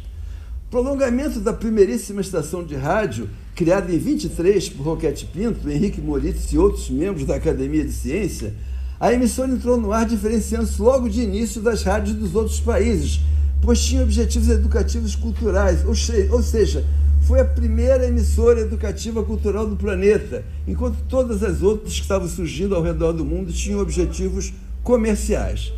Em 36, a emissora que hoje querem extinguir foi doada ao Ministério da Educação em tratativas intermediadas por Carlos Drummond de Andrade com Gustavo Capanema, o maior ministro da Educação que já tivemos. Getúlio, percebendo a importância da doação, criou um departamento dentro do Ministério, o SRE, Serviço de Radiodifusão Educativa. Alocou a rádio na Praça da República e, mesmo sabendo que Roquete era oposição a seu governo, nomeou-o como primeiro diretor da que passou a ser a Rádio Ministério da Educação. Vale sublinhar que os diretores que se seguiram a Roquete foram também pessoas de quilate, como Fernando Túlio de Souza, Carlos Guizini, Murilo Miranda, Maria da Linhares, Mozart de Araújo, este, o diretor que inventou a OSN, a Orquestra Sinfônica Nacional, junto com Francisco Mignoni e Edino Krieger, e convenceu Juscelino Kubitschek a criá-la por decreto. Decreto esse que mudaria a história da música erudita brasileira e levaria a rádio ao seu apogeu, equiparando as melhores do mundo. É ponto pacífico afirmar que os anos JK marcaram o período de maior estima do país. Bossa Nova, Cinema Novo, Extensão do Teatro, Revolução do Jornalismo, Copa do Mundo, etc. Mas todos esquecem que no período JK, a Rádio MEC também começou a viver seu apogeu. E tudo isso, incluindo a autoestima, foi interrompido pelo golpe de 64. Na rádio, o golpe dá início à era dos diretores medíocres, com raríssimas exceções não foram, bastando citar Eremildo Viana, o tal que a Aliana Milanese falou que invadiu a, a, a rádio com revólver. O atrabiliário, o diretor que deu bronca em Carlos Dumont de Andrade reuniu os produtores da rádio para queimar, no chão da sala dos produtores, scripts de Ezra Savagé sobre poetas russos, além de proibir a execução de compositores russos. Eremildo dirigiu a rádio 64 a 69 e a sua maior contribuição à cultura foi ter dado origem ao personagem Eremildo, o idiota, assíduo frequentador da coluna do Hélio Gaspari. Muito bem lembrado. Toda, toda a trajetória da decadência após 64, quando a rádio passou a enfrentar a obtusidade e o descaso de todos os governos que se seguiram, sem exceção, pode ser resumida em um dos mais impressionantes poemas de Mário Quintana, que espelha trágica e perfeitamente bem o que foi a história da Rádio MEC de 64 em diante. Ele usa o verbo assassinar que a Liana Milanês também usou. Eis os versos. Da primeira vez em que me assassinaram, perdi um jeito de sorrir que eu tinha. Depois, A cada vez que me mataram, foram levando qualquer coisa minha. E hoje, dos meus cadáveres, eu sou o mais desnudo, o que não tem mais nada. Sim, tal como declara o poeta, a emissora também morreu muitas vezes e hoje já não tem quase mais nada. E todos que a assassinaram, governo após governo, tiraram alguma coisa dela. Os governos militares tiraram da rádio a autonomia da programação, expurgaram seu quadro de funcionários, estabeleceram a censura, extinguiram o serviço de radiodifusão educativa, onde estava alocada a, a, a, Orquestra Sinfônica, que ficou no ar, e prepararam o fim da Orquestra Sinfônica com todos os seus apêndices orquestra de câmara, quinteto de sopro, quarteto de cordas, etc. Durante o governo Sarney, a censura foi mantida, o orçamento da rádio foi enxugado e a rádio ficou acéfala, pois Sarney teve cinco ministros da educação e cada um que entrava mudava a diretoria da emissora. O governo Collor enxugou ainda mais o orçamento da estação e diminuiu drasticamente o quadro de profissionais colocando boa parte dos funcionários, inclusive os músicos da orquestra, em disponibilidade. A carência de recursos foi tão, tão extrema que, na falta de fitas virgens para gravar programas, centenas de fitas rolos contendo programas ou gravações da Orquestra Sinfônica e programação geral foram retiradas do acervo e copiadas em cassete, com incrível perda da qualidade sonora. Isso para que as fitas rolos pudessem ser novamente utilizadas. O golpe maior ocorreu no governo do PSDB, quando, após tentarem vender a emissora sem sucesso, a rádio foi ferida de morte por Fernando Henrique Cardoso e seu medíocre ministro da Educação. Fizeram o que nenhum outro governo ousou fazer: desonraram a, a doação de Roquete Pinto e, atropelando a lei, retiraram a emissora da égide do Ministério da Educação, alocando na Secretaria de Comunicação da Presidência e hoje foi para a Casa Civil com dois órgãos políticos, justamente o que o Roquete não queria. Depois, em 2013, no governo do PT, a resistência de pessoas como Orlando Guion, a rádio foi desterritorializada e posta para fora do seu endereço, em que operou desde 1937, o que a fez perder todos os estúdios, incluindo o estúdio sinfônico, o maior do país, o auditório e tudo mais. Com isso, a rádio que era formadora de profissões, parou de existir fisicamente e, como um organismo amputado, tornou-se uma espécie de ilusão auditiva, ilusão cuja programação atual ainda faz a diferença do dial, apesar de tudo. E agora, no atual governo, se é que se pode chamar de governo, para fechar a tampa do descaso, querem dar o tiro de misericórdia e tirar a única coisa que ela ainda tem, a voz emudecendo a emissora justo quando ela está prestes a completar 100 anos. Renato, não querido, pode... eu vou pedir para você concluir. Vou te dar um robusto minuto adicional. Tá. Não se pode criticar a extinção das ondas médias, que é uma tendência mundial. Os países nórdicos não têm mais e creio que o resto da Europa também não. O que é um absurdo admissível, no entanto, é o descaso com o significado dos contingentes do, dos ouvintes da programação da única rádio da MEC AM. Vou concluir fazendo uma comparação final da única vez que eu fui a Paris, que eu encontrei lá numa, numa, na porta uma placa dizendo aqui morou José de Mestre, autor do livro tal, tal, tal. Um autor menor. Eu moro no Cosme Velho e o nosso maior autor morou no Cosme Velho. E ele não tem. A, a casa dele não existe mais, existe uma placa num prédio dizendo aqui, no sobrado que existiu nesse lugar, morou Machado de Assis, nosso maior escritor e tal o que, que vai, vai nos restar fazer? Fazer uma placa para botar no 141A o, a poesia do, do, do Mário Quintana, dizendo aqui existiu, a, funcionou de 36 a 2013 a maior e mais importante rádio educativa cultural do país, assassinada lentamente por homens públicos menores e desimportantes? Obrigado, Renato. Rocha. A nossa luta, em síntese, é evitar que essa placa seja fixada, justamente. Essa é a nossa luta. Obrigado, Renato, por sua participação tão, tão importante para a nossa audiência pública. Pessoal, é, na sequência, vou pedir para o deputado Carlos Mink, meu querido companheiro, camarada. Né? Ah, não, antes, Mink, desculpe, o Raimon vai, fazer um, vai dizer um até breve, que o Raimon está deixando a audiência. Em seguida, o Mink faz a sua intervenção. É, vereador Raimon, meu querido amigo também, companheiro, por favor, para sua saudação de até breve. Pedir permissão a vocês da mesa para me retirar. Tem uma agenda aqui, as pessoas já estão me esperando. Mas dizer aqui da nossa, da nossa, do nosso braço aberto, é, do nosso punho cerrado para fazer todas as lutas é, na defesa da Rádio MEC, da Rádio Nacional, e na defesa de uma comunicação que seja uma comunicação do Estado brasileiro e que o governo não pode se apossar dela. É, a Rádio MEC fica, a Rádio Nacional fica. Um abraço para vocês todos. e o paz e bem. Obrigado. Obrigado, Raymond. Muito obrigado por sua presença aqui. Você segue sendo para nós um orgulho do Parlamento Carioca. Obrigado. É, deputado Carlos Mink, agora sim, né, já presente da audiência há algum tempo, membro muito ativo da Frente Parlamentar em Defesa da Democratização da Comunicação aqui da Assembleia, autor de leis importantes sobre a matéria. Carlos Mink, por favor, você tem uma a fala agora para fazer a sua manifestação, por favor. O seu áudio, Mink, o seu áudio. Aqui. Agora sim. Agora tá bom? Agora tá bom.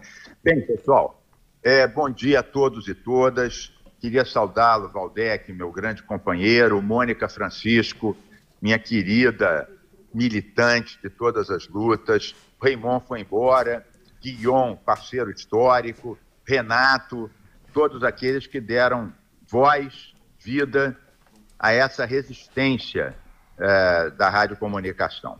Bem, é, nós estamos aqui no Fórum em Defesa é, da Liberdade de Comunicação, das mídias alternativas e das rádios históricas que estão sendo asfixiadas por um governo totalitário, que é inimigo da cultura, da ciência, da Amazônia.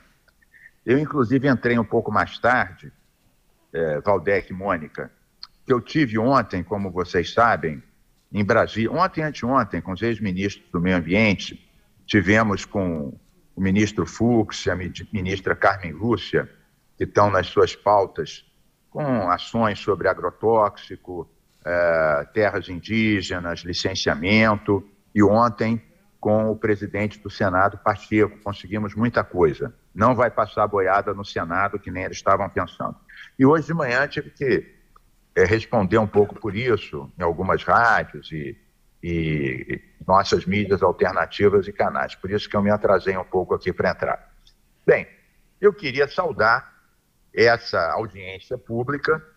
É, parabéns a todos que a convocaram, sobretudo Valdec Carneiro, Mônica Francisco, meus companheiros de tantas lutas é, contra o racismo, é, contra a intolerância, agora enfrentando, Valdec e Mônica, essa tentativa de transformar as escolas da FAETEC em cívico-militares, querem militarizar tudo. Né? É, dizer isso, Valdec lembrou, nós há 15 anos atrás, com o nosso companheiro Cláudio Salles, que está aqui na audiência, ele fundou a Pop Goiaba, é, criamos, também com o Tião Santos, do Viva Rio, e tantos outros, o Guilhom, o Fórum pela democratização dos meios de comunicação. E através desse fórum, nós é, criamos uma lei, criando o Conselho Estadual de Comunicação Social, do qual foram vetados pontos importantes que estamos tentando recompor, que é a composição do Conselho. E aprovamos uma lei, também com grande dificuldade de fazer cumprir, e esse fórum tem se dedicado, que é que garante um percentual mínimo é, da propaganda do governo para as rádios e TVs comunitárias. E já fizemos audiências para o cumprimento de ambas as leis, a do Conselho e da é, cota mínima para as rádios e TVs comunitárias. Hoje o tema é outro, é a sobrevivência de rádios históricas, né? Rádio MEC, Rádio Nacional, ligados à cultura, ligados ao nosso patrimônio musical, teatral, artístico, Parece que tudo que tem a ver com índio, com Amazônia, né, com cultura, com ciência, esse governo põe o dedo no gatilho. Né? É uma ameaça, uma ameaça à soberania nacional você reproduzir música brasileira de boa qualidade, você fazer ciência na Fiocruz e nas universidades, você medir o desmatamento no INPE. Tudo isso afeta a segurança nacional, que nada. Isso constitui a memória, a história, a essência da nossa civilização que ameaça a segurança nacional são esses usurpadores, são esses negacionistas, são os que destroem a Amazônia, asfixiam a ciência, a universidade, né? transformar a Fundação Palmares numa fundação pró-racismo e agora também querem calar vozes históricas. Renato contou a história tantos anos, tantos anos é, é, de Rádio MEC, de Rádio Nacional. Vamos resistir, vamos resistir. Eles vão passar, já falta menos. Cada dia falta menos um dia. Eles vão passar. Bolsonaro vai passar. O ódio vai passar. A devastação vai passar. Mas o IBAMA, o INPE, Rádio MEC, Rádio Nacional, Proteção da Amazônia, cultura brasileira, cinema brasileiro, liberdade de expressão, nós vamos continuar.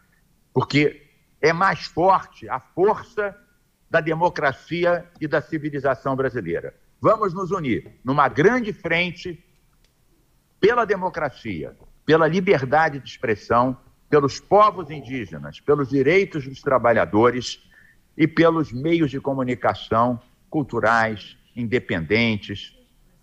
Vamos resistir, sim. Parabéns aos resistentes, parabéns à cultura, parabéns às rádios históricas que garantem o nosso patrimônio, a nossa música, a nossa informação. Não vamos nos conformar, vamos seguir. Nas ondas, sempre, sempre resistindo. Um abraço ecolibertário a todos vocês.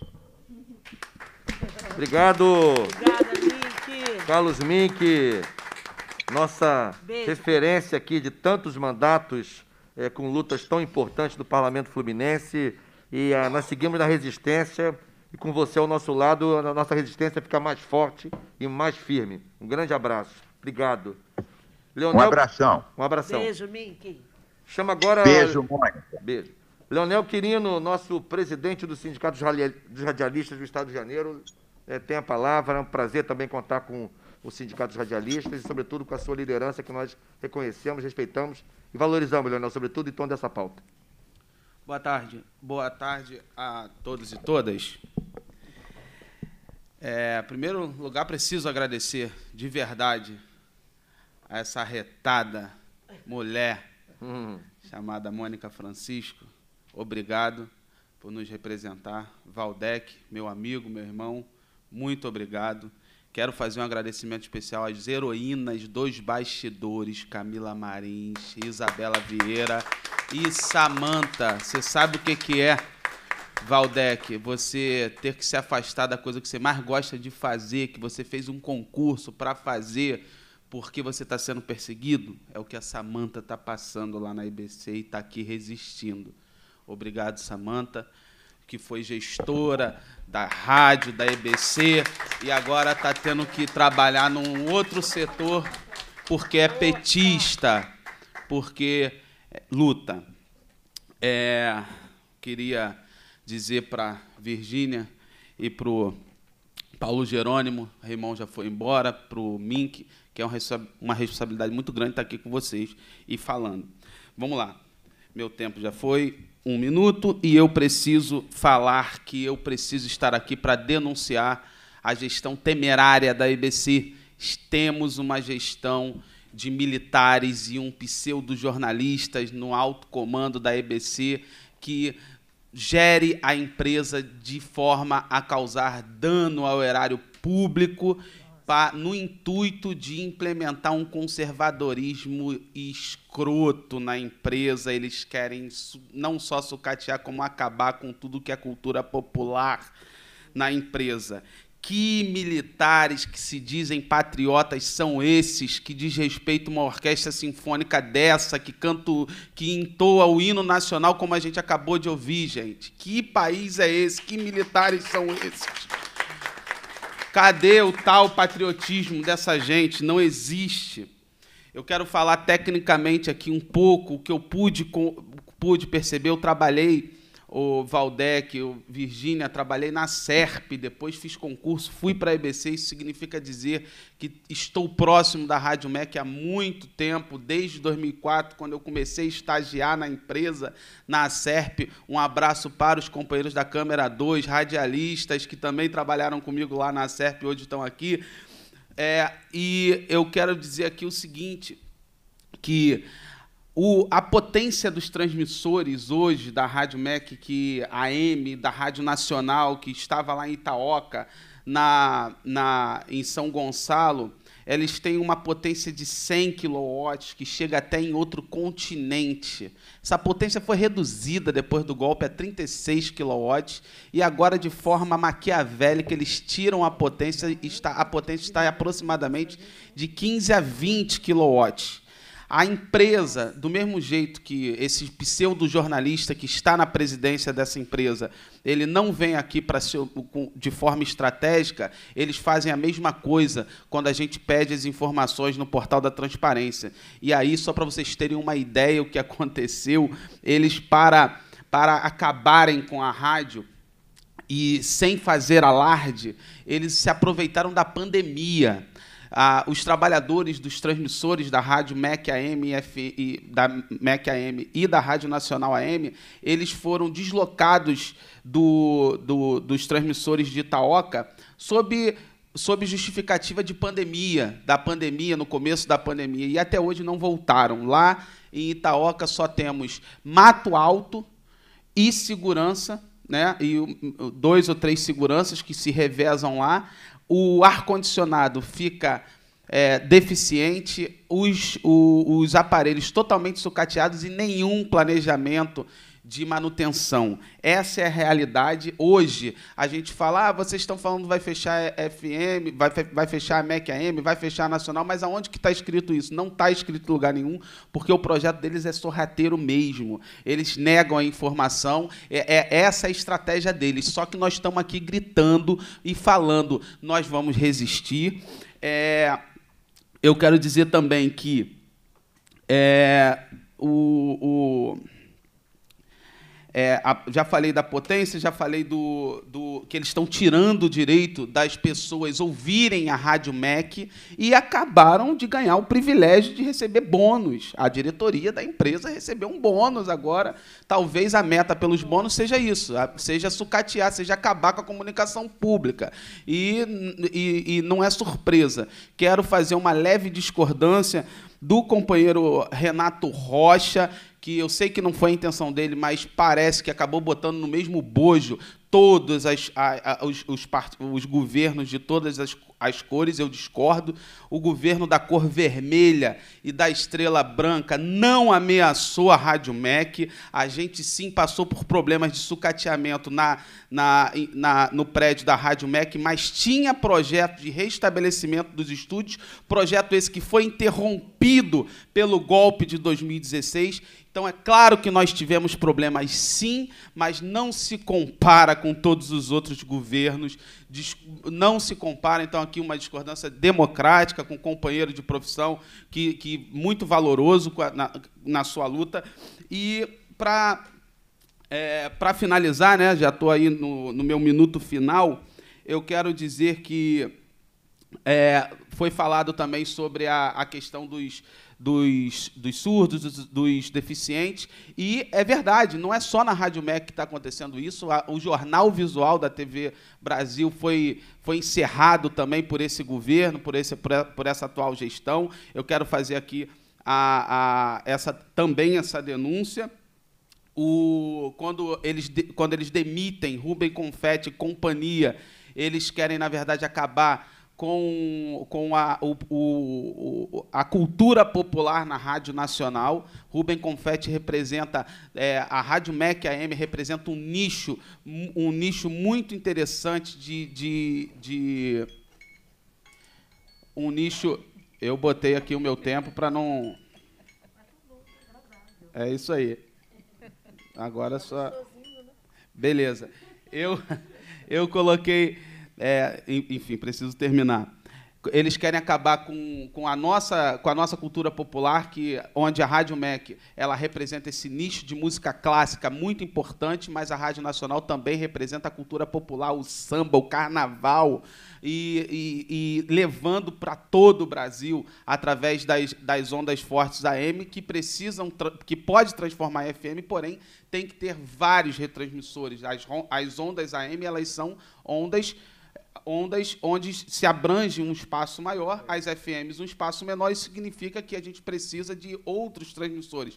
Cadê o planejamento para isso? Não tem. Ou seja, para finalizar, eu quero, eu quero dizer que a gente precisa ampliar esse debate para o parlamento nacional, e eu sei que isso vai ser feito, se não, se não isso vai ser feito, né, Valdec, né, Camila, né, a gente vai levar para lá esse, esse, esse debate e denunciar, e assim que retomarmos o, um controle popular do governo federal, vamos replanejar. Sabe que não é do dia para a noite, mas nós temos essa missão de replanejar a comunicação pública, a Rádio MEC, a Nacional, a TV Brasil, a Agência Brasil e todos os órgãos democráticos de comunicação para a gente ter uma cidadania verdadeiramente plena no nosso país. Mais uma vez, obrigado a todos e todas. Vamos juntos, vamos lutar pela comunicação pública no nosso país. Obrigado, querido Leonel Quirino, é, presidente do Sindicato dos Radialistas. É, e eu desejo que, em breve tempo, ao lado da Mônica, a sua presença aqui nesta casa seja muito frequente e cotidiana nas boas lutas, nas boas lutas da sociedade fluminense e do povo brasileiro. Bom, eu quero passar a palavra agora para Virgínia Berriel, aqui ao meu lado, diretora do Sindicato dos Jornalistas e uma grande referência da luta dos trabalhadores e trabalhadoras no estado do Rio de Janeiro. Bem, bom dia. Bom dia a todos, todas, todes. Bom dia, Mônica, querida Mônica Francisco. É um prazer estar aqui. E Mônica toca muito bem a comissão de trabalho aqui da LERJ e Valdec também é na Frente Democrática pela comunicação, pela democratização da comunicação. É bem importante o trabalho que todos travam aqui na Assembleia Legislativa. O nosso sindicato não tem a figura do presidente, né? é uma diretoria geral. É, além de estar na diretoria do sindicato, eu sou da executiva nacional da CUT e também conselheira, estou conselheira no Conselho Nacional dos Direitos Humanos. Pois bem, nós temos travado, né, pelo sindicato, uma luta de forma intransigente por conta de todos os ataques e desmandos desta diretoria da EBC.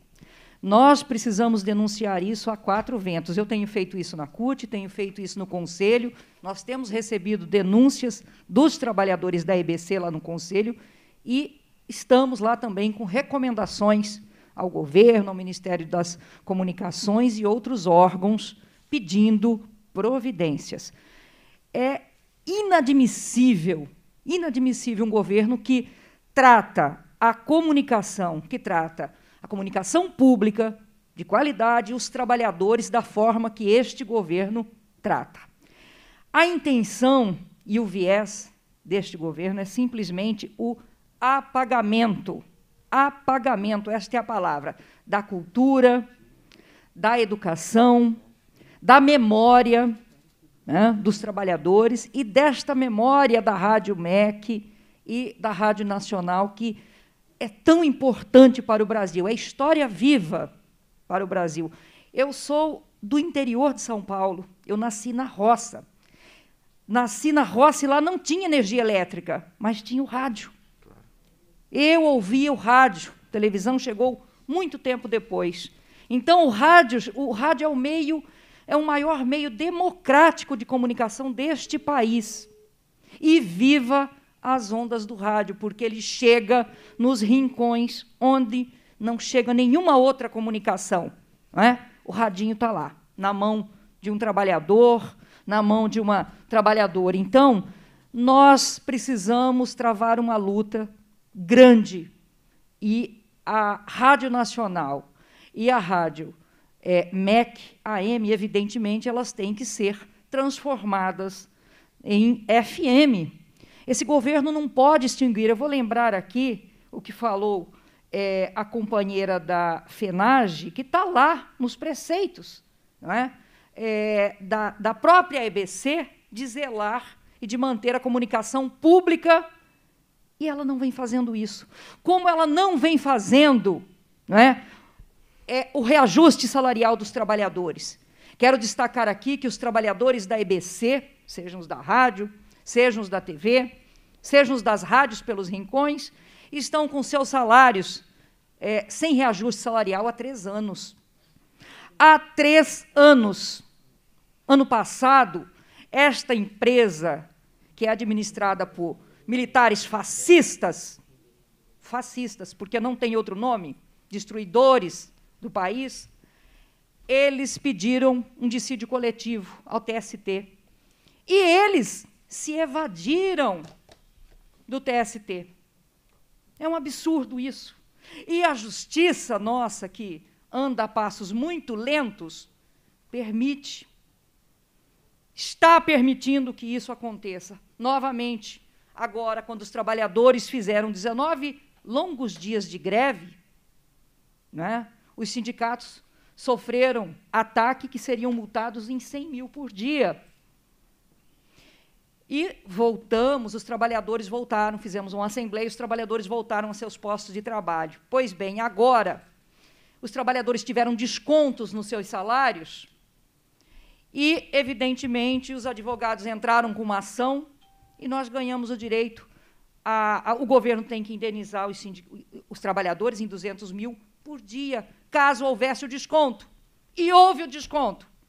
Só que eles não querem pagar os 200 mil. Então, que governo é esse que não tem respeito aos trabalhadores, que deveria estar aqui? A superintendência da Rádio AM Nacional, da Rádio MEC, superintendência da IBC deveria estar aqui na figura do senhor Glenn. E não está. Isso é muito descaso com os trabalhadores. Total descaso. Então, não podemos engolir é, mais esse tipo de tratamento aos trabalhadores. Porque é assim, é colocar os trabalhadores como coisa, como nada. E esses trabalhadores, como os demais trabalhadores das empresas públicas e estatais, têm história, não é? E é o que o governo, é justamente o que esse governo não quer. É? Ele destrói a história, ele privatiza, ele terceiriza, ele precariza. Os, os é, administradores, os gestores desta empresa assediam violentamente os trabalhadores. Nosso sindicato tem aí a companheira Isabela, né? nós temos, a, acabamos de falar da companheira é, Camila. Camila, da, da Samanta, a, a, a, uma outra diretora nossa, não é? a Carol Barreto, que voltou de licença maternidade, foi para a geladeira, e tantos outros dirigentes sindicais, em Brasília, em São Paulo, que são as praças. Né? Foram para a geladeira. Então, nós precisamos denunciar isso. E precisamos levar também, viu, Mônica e Valdec, é, uma audiência pública na Câmara e no Senado, porque não podemos engolir tudo que está sendo feito contra os trabalhadores, todos os ataques aos trabalhadores desta empresa, porque é ataque em cima de ataque. Então, é, também me coloco aqui como conselheira do Conselho Nacional dos Direitos Humanos para a gente levar esta demanda para a Câmara Federal, para o Senado Federal e lutar pelo, pela não extinção da Rádio Nacional, da Rádio MEC, e lutar, sim, para que esta empresa pague, pague os atrasados a seus trabalhadores. Pague o reajuste a seus trabalhadores dos últimos três anos que ela só nega. E dizer também ao companheiro que foi demitido né, é, que é racismo. Né? Rubem Confete, o que esta empresa fez com Rubem Confete é racismo, não existe outra coisa. E temos que lutar contra isso também. Então, vamos é, à Câmara Federal, vamos ao Senado Federal e, e também ao CNDH, que está lá à disposição, para lutar juntos né, e impedir todo esse retrocesso, impedir o ódio, impedir o fascismo, porque o que vencerá, no fim, é a luta é a resistência e é a nossa unidade. Muito obrigada. Muito obrigado, Virgínia Berriel. E, e fique é, ciente de que nós vamos, Mônica e eu, falar com as nossas bancadas para ver se a gente, no mais curto espaço de tempo, Mônica, a gente possa, possa, possa ter uma audiência pública na Câmara Federal é, sobre essas pautas tão importantes, esses ataques tão descarados, né? absolutamente expostos, explícitos sem nenhuma dissimulação, né, contra os trabalhadores e trabalhadoras da empresa eh, da EBC. Bom, eu, eu quero eh, convidar agora para fazer uso da palavra, encerrando as nossas, as nossas eh, intervenções de convidados, ao procurador-chefe do Ministério Público do Trabalho, doutor João Bertier. Aliás, ressalte-se sempre muito atuante e muito participante e, e mantém-se sempre em diálogo com as atividades da Assembleia Legislativa, notadamente da Comissão de Trabalho e Legislação Social, que a Mônica preside. É um prazer e uma honra contar com o doutor João Bertier, como tem sido, né, como só ia acontecer nas audiências aqui da Assembleia. Doutor, doutor Bertier tem a palavra, por favor. Ainda, ainda, ainda está conosco?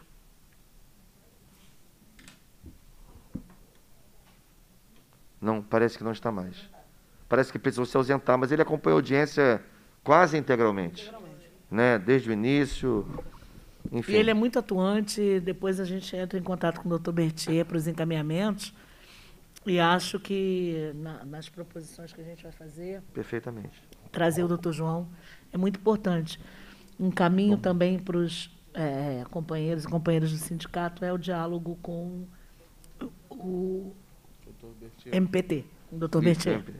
Bem, então eu vou fazer aqui uma manifestação final muito breve, né, e passar para a deputada Mônica Francisco fazer o encerramento da audiência. Eu acho que agora é importante nós amarrarmos alguns encaminhamentos. Né.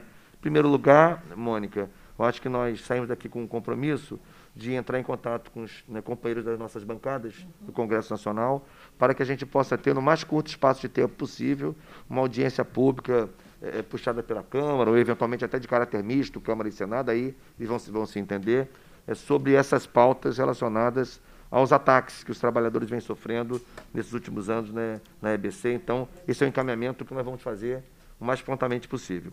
Uma outra questão que eu queria aqui também sinalizar como ideia, para a gente ir amadurecendo, é, é, é, nós estamos na luta agora é, pela migração né, da Rádio MEC para é, é, é de AM para FM. Uhum. E nós sabemos que, em consequência, em decorrência dessa migração, é, é, haverá uma redução do alcance, né? porque o sinal de AM é mais amplo, mais robusto. Né? Então, nesse sentido, a gente precisa criar alternativas para que essa migração não penalize né, municípios do Rio de Janeiro que vão ficar sem, essa, sem esse dial, sem esse sinal. Então, a, a ideia que eu quero aqui propor, para a gente detalhar melhor, é, é, é fazer, desdobrar essa audiência pública é, com uma reunião de trabalho né, executiva com o presidente dessa casa, o deputado André Siciliano, para saber se é possível imaginar é, assim, uma participação da Assembleia Legislativa né, na construção das condições para viabilizar tecnicamente essa expansão, porque a gente vai precisar de outras FMs, não é isso, querido? Isso, isso. Então a gente tem que saber o que, que isso representa em matéria de investimento e de que forma a Assembleia Legislativa, já que isso tem a ver com a democratização, democratização da comunicação no Estado do Rio de Janeiro, e a Assembleia Legislativa está nessa pauta. O André Ciliano, que era que dá o devido crédito, tem compromisso com essa pauta, é sensível a essa pauta, muito sensível, a pauta da cultura de modo geral, né, que tem uma interface muito clara com a comunicação. Então, pensar nessa reunião com o André, de que forma a Assembleia Legislativa pode é, é, é, se comprometer né, é, é, na construção de uma solução técnica, na, na, viabilização financeira, inclusive, de uma solução técnica para que essa migração não penalize os municípios fluminenses. Não sei se seria uma parceria direta é, com a EBC, com a Rádio MEC, temos que ver qual seria o melhor desenho. Né? Não dá para a gente definir o desenho aqui agora, mas trazer a LERJ, é bom ressaltar que a LERJ tem feito parcerias muito importantes muito. no Rio de Janeiro nos últimos anos, em áreas muito sensíveis, e eu não tenho dúvida que é, dificilmente a Assembleia e o André se furtarão de dialogar sobre isso e de buscar uma alternativa. Então, é um encaminhamento que faço aqui para a gente ir aprimorando, mas hoje mesmo eu falei com a Mônica, para, ao final dessa audiência, nós já provocarmos o André, né, na busca de uma reunião, quem sabe já na semana que vem. Né? Aí não é uma audiência, é uma reunião mais objetiva, mais focada, para ver quais são as soluções técnicas possíveis, o que, que, é, o que, que é necessário para viabilizá-las e de que forma a Assembleia pode se envolver, não sozinha, mas participar de um esforço maior para que essa solução. Sim. Essa reunião, pois não? De nós, pelo menos dois ou três técnicos, representações que estão aqui. Acho claro, claro, claro. Ele tem uma, tem uma participação na reunião de quem quem conheça tecnicamente a matéria, para nos explicar é, quais são as, as, as, soluções técnicas viáveis e o que, que elas representam em termos de investimento e tudo mais. Mas seu encaminhamento está assim, em linhas gerais, para a gente ir arredondando. Tá bem? Eu quero, eu quero é, agradecer, em nome da Frente Parlamentar é, pela Democratização da Comunicação da LERJ, que é uma frente é, suprapartidária, com várias participações, né, deputada Mônica, deputado Mink, deputado é, Flávio Serafini, enfim, e, e, e desejar que a gente possa seguir firmes nessa luta, que essa é uma pauta fundamental, porque a luta pela restauração da democracia no Brasil pressupõe a democratização da comunicação, pressupõe a democratização do acesso à informação, ao conhecimento, à cultura, pelos diferentes veículos, entre eles os veículos é, radiofônicos. Portanto, é, vamos seguir firme na luta até a vitória, que será nossa. Deputada Mônica Francisco, por favor, reassume e faz o encerramento da audiência. Muito obrigada. Sem mais delongas, nós ouvimos praticamente tudo que precisávamos ouvir nessa manhã e início de tarde. Quero agradecer imensamente a mesa aqui presente, nosso companheiro Valdec, né, já que é, disse presidente da Frente em Defesa. Eu falo em defesa, sei que é democratização, mas pelo contexto em defesa da comunicação popular, né, que também é um companheiro aguerrido de luta nessa casa muitos enfrentamentos, mas também muitas conquistas, e a gente tem certeza que essa será mais uma. A luta e a conquista, a vitória, como disse aqui a Valci, da permanência, da resiliência e da transformação. A gente vai passar por isso e, com certeza, a gente vai reinventar essa democracia, como bem diz Camila Marins, né? a quem eu agradeço pela construção coletiva no nosso mandato, pela interface com os trabalhadores e traba trabalhadoras da EBC, como militante, ativista, jornalista, comprometida com a causa da comunicação, a democratização das mídias nesse país, entendendo o quanto isso é fundamental para o enraizamento, para o fortalecimento e para a permanência salutar da nossa democracia. Quero agradecer aqui também a Berta Núteus pela presença, nos procurou no gabinete gentilmente, foi uma tarde foi uma conversa deliciosa né, sobre luta, sobre o projeto, é, os projetos de tombamento, tanto da Rádio MEC quanto da Rádio Nacional. Enfim, são pessoas como essa, como todas essas que passaram por aqui, ou que nos é, brindaram com a sua fala, a sua expertise, a sua luta e o seu afeto, né, através de via remota, a luta pela, pelo fortalecimento da democracia e pela beleza que é a comunicação pública. Eu, como comunicadora popular, não poderia estar em outro lugar senão aqui. Então, agradecer imensamente ao Pagê, Valdec, Leonel, Virgínia, doutora Helena Teodoro, que bravamente resiste no Zoom, a quem nos assiste pela TV Alerge. Lembrando a vocês, companheiros, que o Emanuel está aqui me olhando, nosso economista da Comissão do Trabalho, nós lançamos a campanha pela lei do piso. Lembrando que os jornalistas estão na faixa 3 da lei do piso. Então, vamos reverberar essa campanha. A gente está pressionando o governo do Estado, viu, Valdec? A gente Sim. quer. É, você viu, eu falei essa semana no plenário, falei na, na semana passada, né, o quanto é importante para trabalhadores e trabalhadoras fundamentais e basilares que essa mensagem seja enviada à casa para que a gente possa votar, ou que o governo diga que não vai enviar. Isso. É só isso que a gente quer.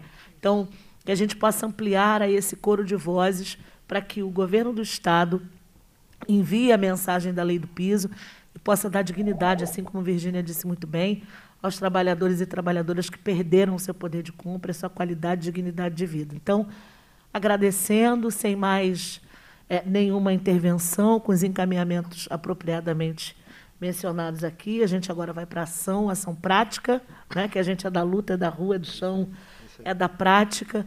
Eu agradeço a presença de todos, todas e todos, das assessorias, que nos ajudaram imensamente, a coordenação da Comissão do Trabalho, agradecendo aos trabalhadores e trabalhadoras da comunicação aqui da TV Alerge, e a todos e todas que nos suportaram aqui nessa manhã, né, nos deram suporte para que essa audiência acontecesse. Camilinha, um beijo grande, Lúcia. Declaro encerrada essa audiência pública. Carlinha, obrigada. Beijo a todos e todas.